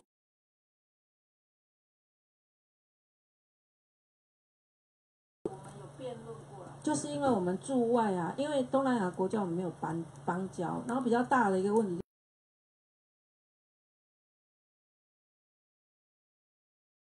比如说以加拿大驻台办事处，他们里面除了经济以外，他们还有一个组叫文化组，然后那个文化组的那个组长大部分都是学文化人类学出身，然后我就觉得他们就会很活跃的去参加很多的活动，然后对台湾的研究者都很 friendly，然后他们。会有一些奖学金，他邀请你去加拿大做研究。然后我们台湾的话，就是嗯，其实就是我们台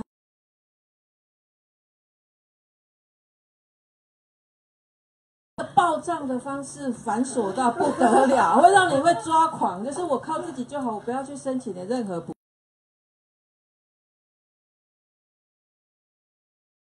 加拿大做访问，可是他就是那个，然后那个当地的代表。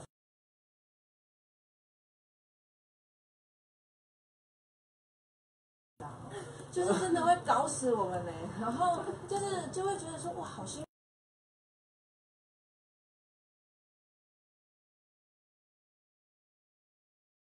他就很有人性啊，他要的是你的上课内容、教学内容里面能够提到加拿大的案例，然后他会一直追踪，所以我其实只是参加过他们。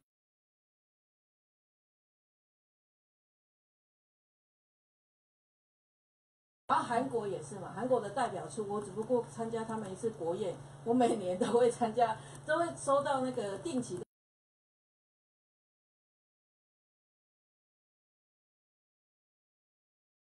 宿舍长去做这样的工作，而且我们把时间都发生在内政的延伸呐，就是他们最常做的工作就是接机，然后然后呃，如果你去他。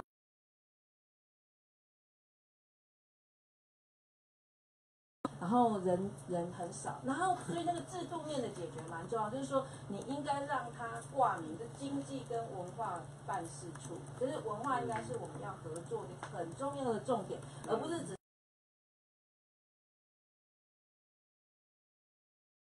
我觉得文化的版图很少他最后还是想要做做做生意的那个部分，可是你。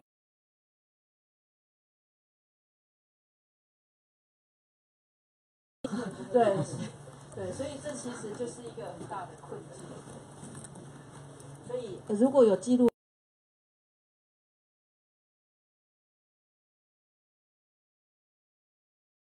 工作有点难哦。就在我们在影展圈，当然我们还好没有。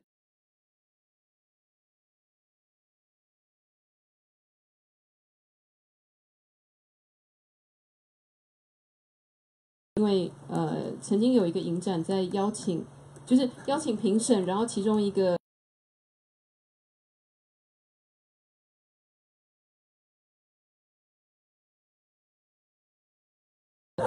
说不可以报这个账，然后那个时候就有人说，就这个是这个是我们最近影展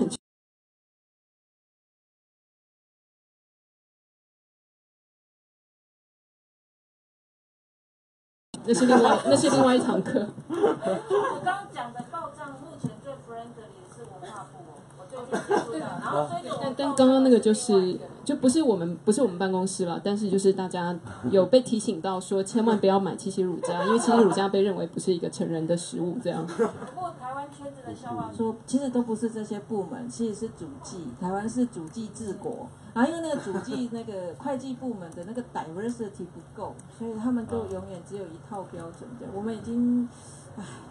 不过好像应该要常常讲，常常讲，他们才会改变这样。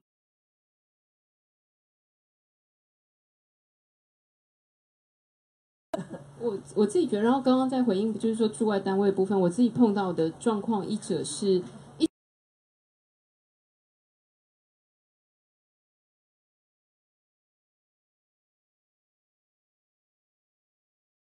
批评太多，因为其实我真的碰到蛮多认真的，那反而认真的人。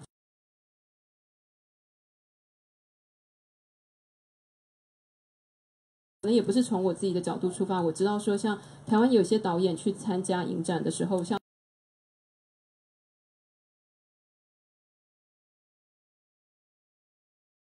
去参加影展要做的事情还要还要重要，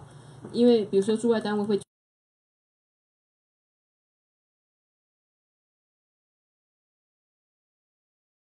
接待台湾来的导演这类的事情。然后对于，就像我刚刚讲那个办事处的事情，然后对于说导演来到这个地方参加这个影展，结果我们的驻外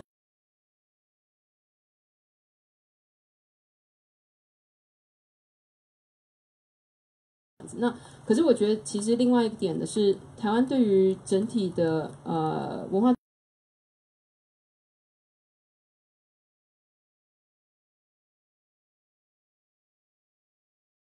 嗯，偶尔起一件事情，然后找大家来咨询的方式，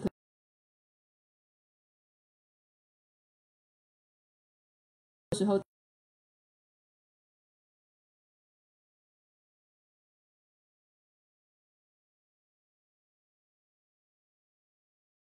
那今天作为一个整合的单位，其实是怎么样子把大家的经验集合在一起的时候，作为一个作为一个政策，而且它是一个长久性。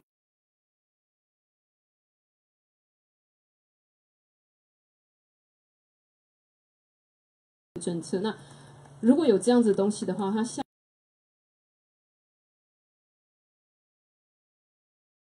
有些时候我想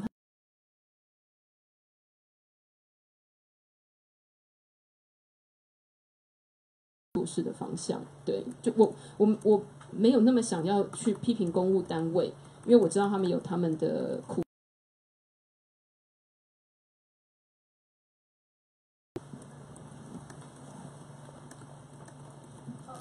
有跟马来西亚的部分啊，就是马来西亚的留台生很多，然后大概在两千年两年前，他们已经成立一个叫做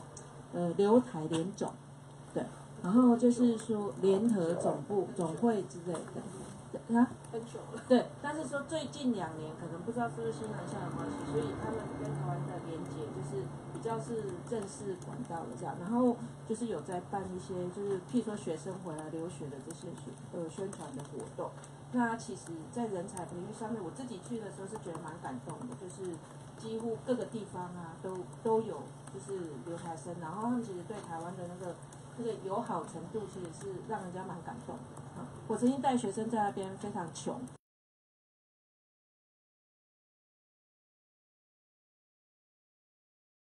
出去，因为我我的反正就是下了。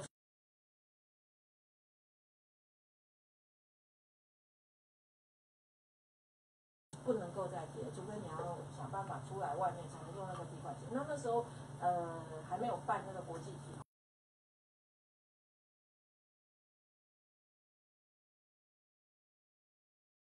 姐就是就照顾我，然后那时候其实。后来他讲一句话，他说我们以前在台湾留台的时候，都是台湾的学生照顾我们，然后你们来了，我们当然很欢迎你们，然后就做就是带着学弟妹们到处去很多地方走，所以那个经验其实是还蛮不错。所以我就觉得说，在测。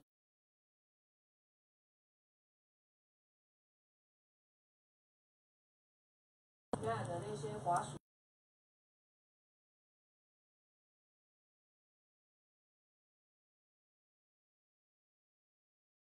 说是由年轻人去做的，因为我觉得那个独立书屋的感觉还不错啊。那其实也可以跟台湾的一些书屋做一个连接，这样。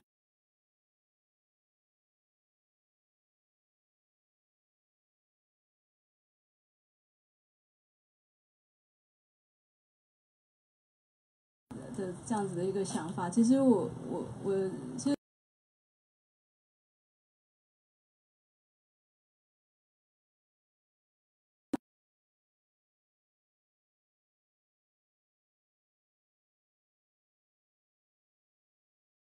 被我们刚好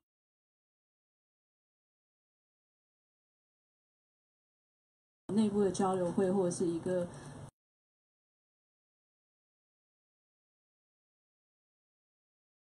我刚才想讲的，其实当然，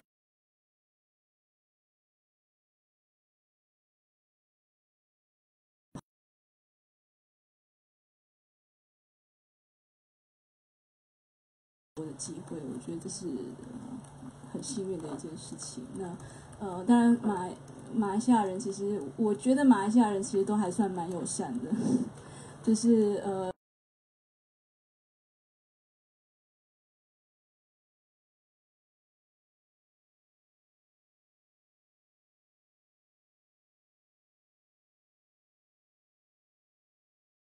马来西亚的这个华裔的社群，呃，你说两成，它其实也是蛮多的，只是，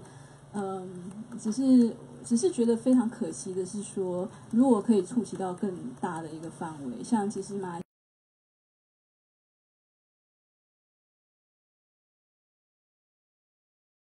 他们其实也有非常多的，呃，非常精彩的一些论述，可是这些部分就不会被。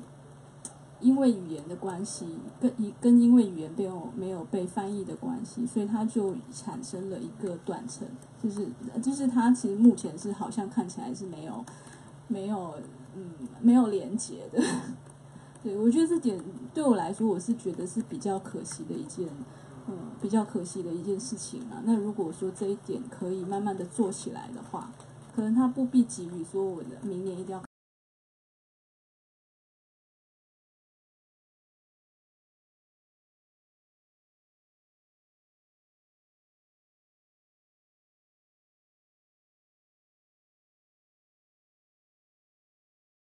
它可以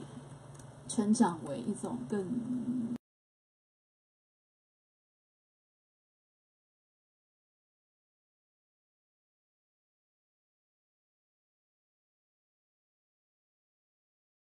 呃，秀伟跟亚芬老师，呃，我们因为时间的关系，我大概在在让两个朋友做分享或提问，那不知道有没有？人想要拿麦克风。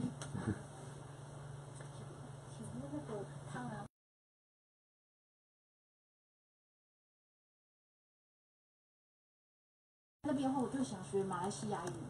那你们应该就有交流啦。因为你们出去，你们只有两趴，九十八趴都是讲马来的。如果他们卖东西比较便宜，你就说去找二十趴。对，哦，二十趴，那我们就想去找他们可能也比较便宜的东西可以买之类的。对，然后第三个就是，因为我现在对我，我觉得我们台湾最近是比较有一些有有一段是哈韩流，因为大家都会看韩剧那些的，然后我就会觉得，哎，你刚才说 Japan Foundation，然后觉得哎日剧好像比较没有那么夯了，然后我就会觉得，哎，那因为我们就可能就是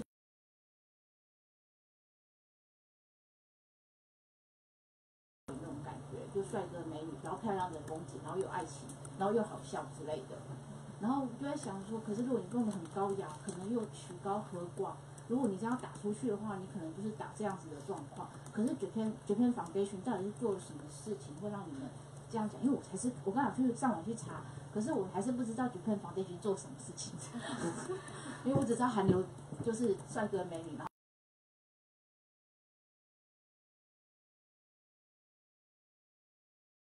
基金会，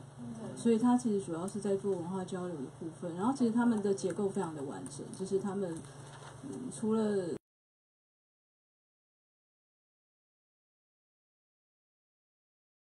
比如说他们今天邀了一个日本的舞团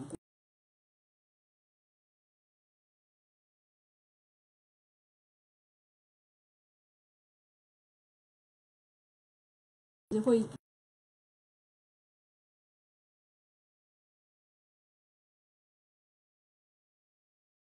我说那个汤兰花的部分，它其实并并不是因为复兴的人造成暴动，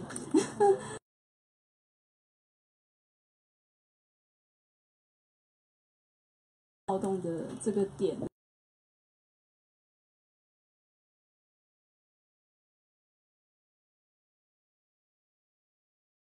我它其实有一些，呃，有一些很奇妙的一些连接，是我们没有办法想象的，或者是我们没有办法，呃，没有办法知道的。那那如果说你你说那个呃呃语言语言的语言的事情，当然，呃，如果你会马来语，当然在买东西上有可能会比较亲切一点，像。呃，像前几年的时候，有台湾的剧场圈的朋友，他们到马来西亚去，然后当他们的司机这样，然后就带他们去呃购物，就是呃也不是也不是真的是购物行程，就刚好那个地方有懂有卖一些呃一些呃手工艺品这样子，然后呃那时候他们就问我说，你可不可以帮我们用马来语讲价？就是谈价钱，就是谈，就是好像用当地的语言跟当地人，他们比较不会骗你。就是呃，我觉得这这嗯，这也有这也有一个可能性啊。但是但是我觉得像呃，我记得小时候有就是学校有日本来的学生，然后就是他们有点像是那种呃。学生交流的、交换的一个这样的一个制度，然后有一天也是跟他们去逛夜市，他们一句马语都不会，然后英文也非常的破，但是他们还是可以拿着计算机 跟摊贩讲价。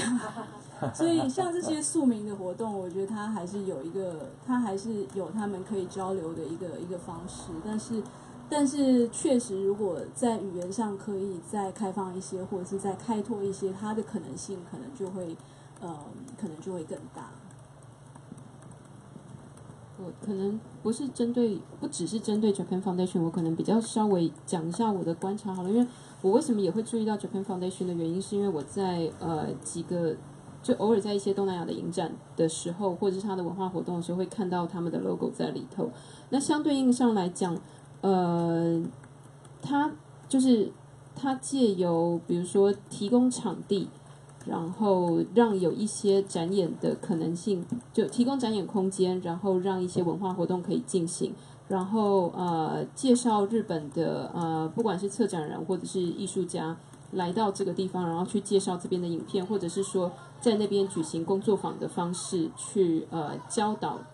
教导当地的呃年轻的年轻的，然后对于拍电影有兴趣的人，这是一种方式。那所以说，比如说我们再往前更推一点的时候，如果去看像以泰国来讲，泰其实也不只是泰国，其实我觉得在各个国家都是一样。像台湾，如果说你回到比如说六七零年代的时候，其实呃美美国的美国新闻处其实是一个知就是文艺文艺青年或者知识分子所得到资讯。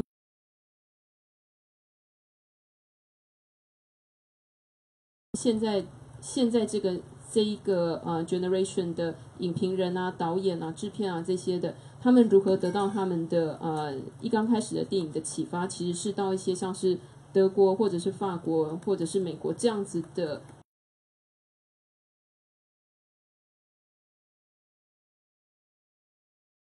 单位，其实在其他地方所做的是，我提供我一个场地，像我记得我听到有一次有一个柬埔寨。柬埔寨的短片，呃，他算是一个短片导演，然后他，诶，他是一个导演，然后他同时之间也在柬埔寨办影展，然后他说柬埔寨那个地方其实放。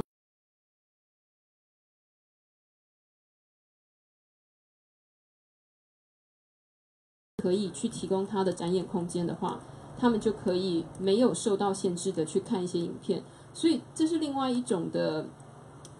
另外一种的文化交流，但是也可能是一种文化文化。我觉得我讲文化殖民太重了，但是它的养成是因为有这样子的一个背景，所以其实另一个方面是为什么我我会觉得为什么在当地的人会觉得非常的有感，所以有些时候我曾经有一次，我曾经有一次在跟文化部的呃文化部跟。就是直接跟南向政策有关的一些小组的人在聊的时候，闲聊的时候，我就心里想说，其实台湾在这些单位，在在这些东南亚的国家里面，如果就就是协助他们已经现有，与其说我们去这边，然后要去办一个什么台湾电影的影展，或者是台湾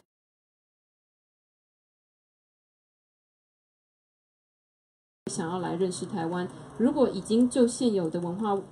脉络或是文化展演的部分，去投一点，对台湾来讲，投一点点的钱，其实它对于台湾的有感度会更高。我我讲的比较实际一点，就是因为我觉得其实台湾相对于东南亚来讲，钱还真的蛮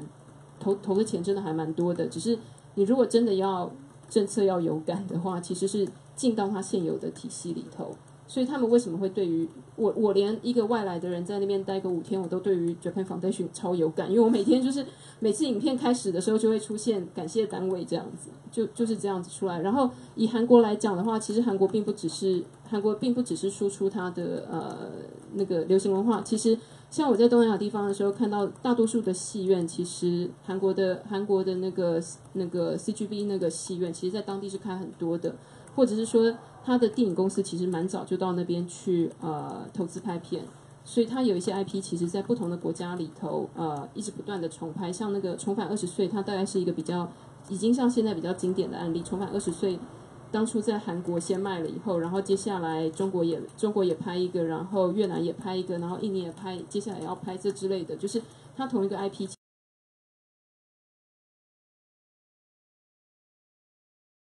文化工作，你讲文化殖民也可以，文化输出也可以，但是我觉得不论如何，都算是有一点方法了。那以台湾的状况去做南向政策来说的话，我觉得现在还比较杂一点，对。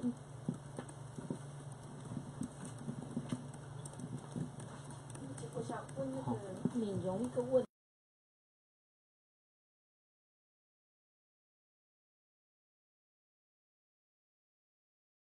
跟独立片商，那你们会想要把这种呃，其实影像以传呃，就是传递到东南亚，所以考虑到翻译的问题嘛？那还有就是说，我们台湾过去比较不是一个多语的社会，所以我们在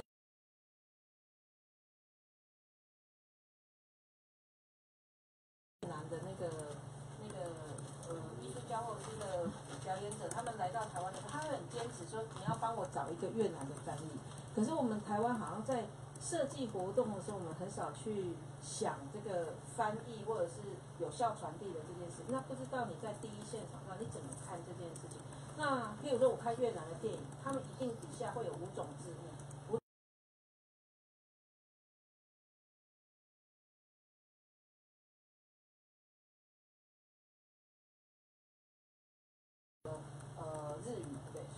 大概会有五种的国际。比较大的语言，就是谁会想对他们电影有兴趣的那几个语种，他都会有背那个字幕。所以你买到他的 DVD 的时候，你是可以挑。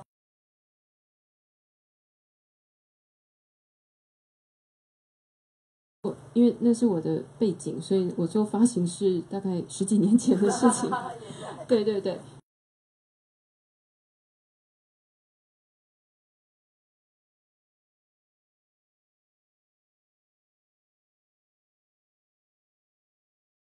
展跟影展之间是提供英文字幕，然后让当地再去看他的需求，翻译成当地的字幕这样子。但是如果然后同样的，如果说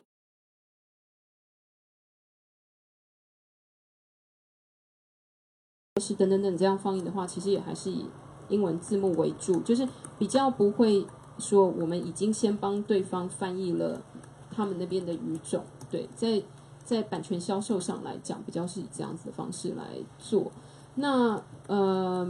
如果说在文化政策上来讲，说要不要去把这些语种翻译完，我我没有想过。但是如果你现在问我的话，我觉得我宁可是说，就以以我们来说，呃，我们跟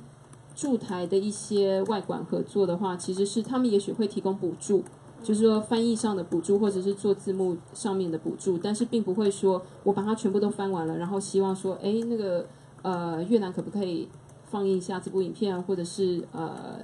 菲律宾能不能放一下这部影片，或者是哪里可不可以放一下那些影片，因为那个比较不太合经济效益，然后我们这边翻译完的也并不一定符合。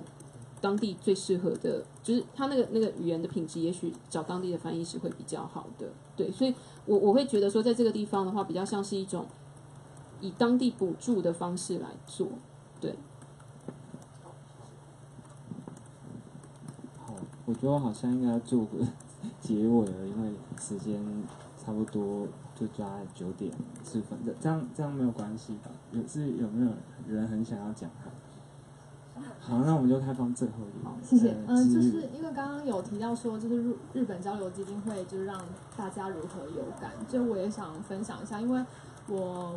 我近近几年比较常在柬埔寨，然后柬埔寨当然也是很常会看到日本交流基金会或是韩国，他们我觉得他们是很有计划性的去很长远做一些事情。那相比在台湾这几年新南向，我会觉得很多时候会让我觉得，哎，不知道该怎么回应。就我之前有遇过朋友，然后他们曾经有来过台湾演出。那大家知道，因为这可能因为这几年新南向的关系，我们有很多的这种演呃展演的机会在台湾。那我听到的大部分的回馈都是非常负面的。然后我有听说，哦，我之前遇到一个新朋友，他跟我说啊，你是台湾来的，我曾经去过台湾，然后就很兴奋说，哦，那你是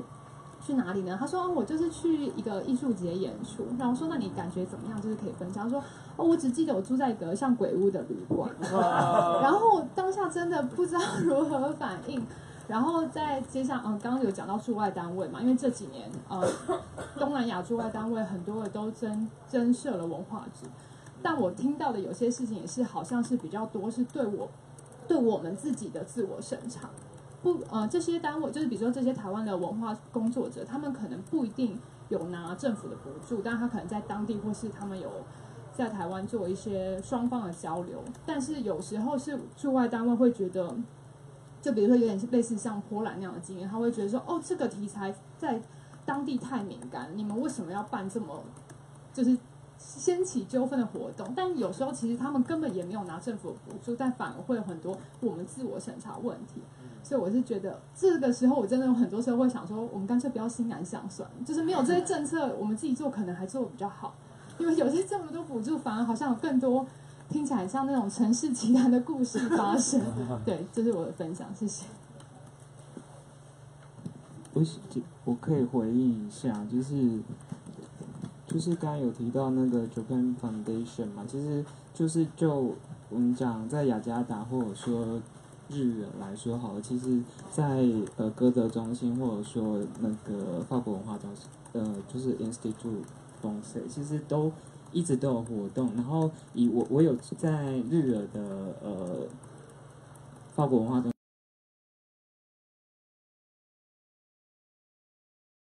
地非常草根，而且是常常上街抗议的乐团，还有呃剧场工作者去表演。所以我觉得就是回来想这件事，说呃我们呃呃文化。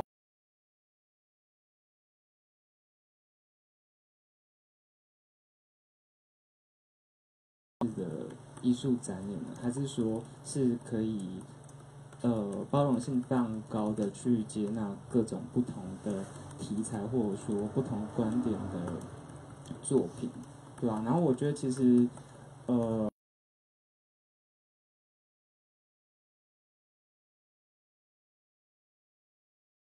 呃，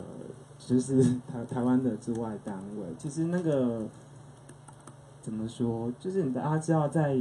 雅加达驻外单位是应该是全世界最最赚钱的之外单位，有非常多义工来被申请签证。对，有一个经验其实是协助呃台湾这边的一个单位在雅加达办展览，我在这边就不要讲这些。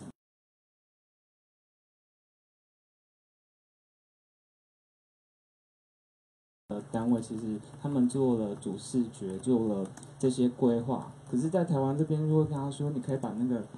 就是呃敏感的字拿掉，敏感的字其实就是 national 这一类的，对吧？就是我觉得又回到那个自我审查，不过我不喜不想要去引起任何纷争，然后因为呃，在过去呃这个单位在东南亚国家办呃策展或者说布展的经验来说，其实那个是有很高的风险。只要他说，其实常常都是呃中国的外管呃发个公文或者说有个意见，所有的活动都会取消。对，那投注在里面的几百万也就会一瞬间就就消失了。对啊，所以我觉得其实还是回到台湾的外交困境吧，就是我我。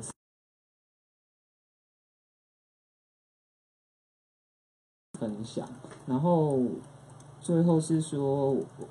我觉得今天其实后面谈到比较多是食物上真的，有点有点像文文化部大长话之类的，就是说，不过这个都是存在问题啊，就是说，呃，参商在申呃过去在申请补助，其实都是一年的，其实，在文化部可能只有像翻译出版是两年的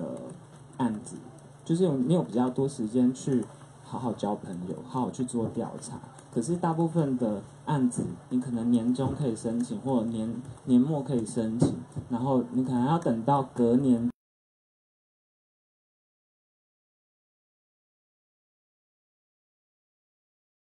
年，对啊？所以其实我觉得这个也是需要去做讨论跟检讨的。就是刚刚。呃，两位讲者都有提到，没有，其实缺乏延延续性跟没有长远的规划或视野也好，其实就我觉得大家可以一起再做更多的努力啦。好，那我。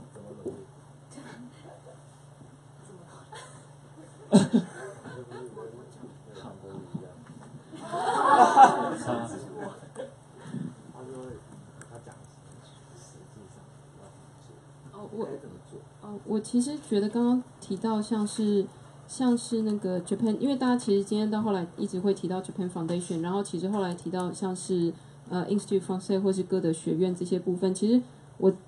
突然想到一个症结点是说，因为就是去回应到我自己在台湾做呃一个呃就是文化活动的一个组织，然后去想在在台湾的那些外管单位是怎么样子的协助的时候，我觉得其实它比较。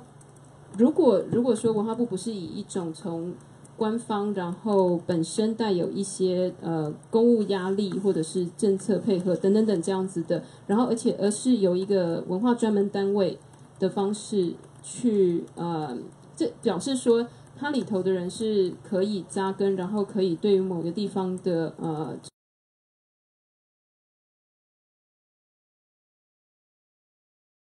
不管各种大大小小的呃的那种呃译文活动，他们都会去出席，然后他们都会去想办法去认识。其实某个程度上，就是他们想要成为，他们想要把自己的 networking 呃做做清楚。那比如说，为什么我去其他国家的时候，我不会去找台湾驻那边的外管去联系呢？因为我非常清楚，他所知道的不会有我知道的多，因为他在那边没有他那个联系。对这个这个，因为他有他，因为他其实所谓一个文化，他身上要做的事情非常的多，所以我说我没有我没有那么想要苛责苛责那种那个 individual 的公务员这样子，嗯，但是但是相对上来讲，如果说有一个有一个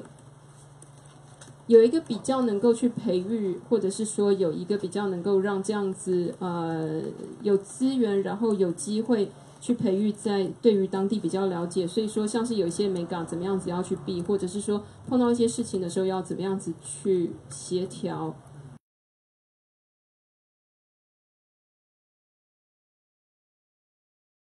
我要怎么样子的去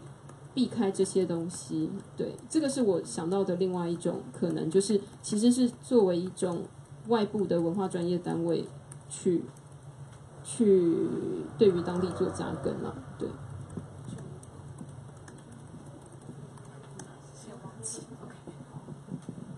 我们还是要就形式上做个结束，OK，然后。就是我们也需要很形式的要跟大家一起合照，如果大家很反抗的话，可以先躲起来，OK。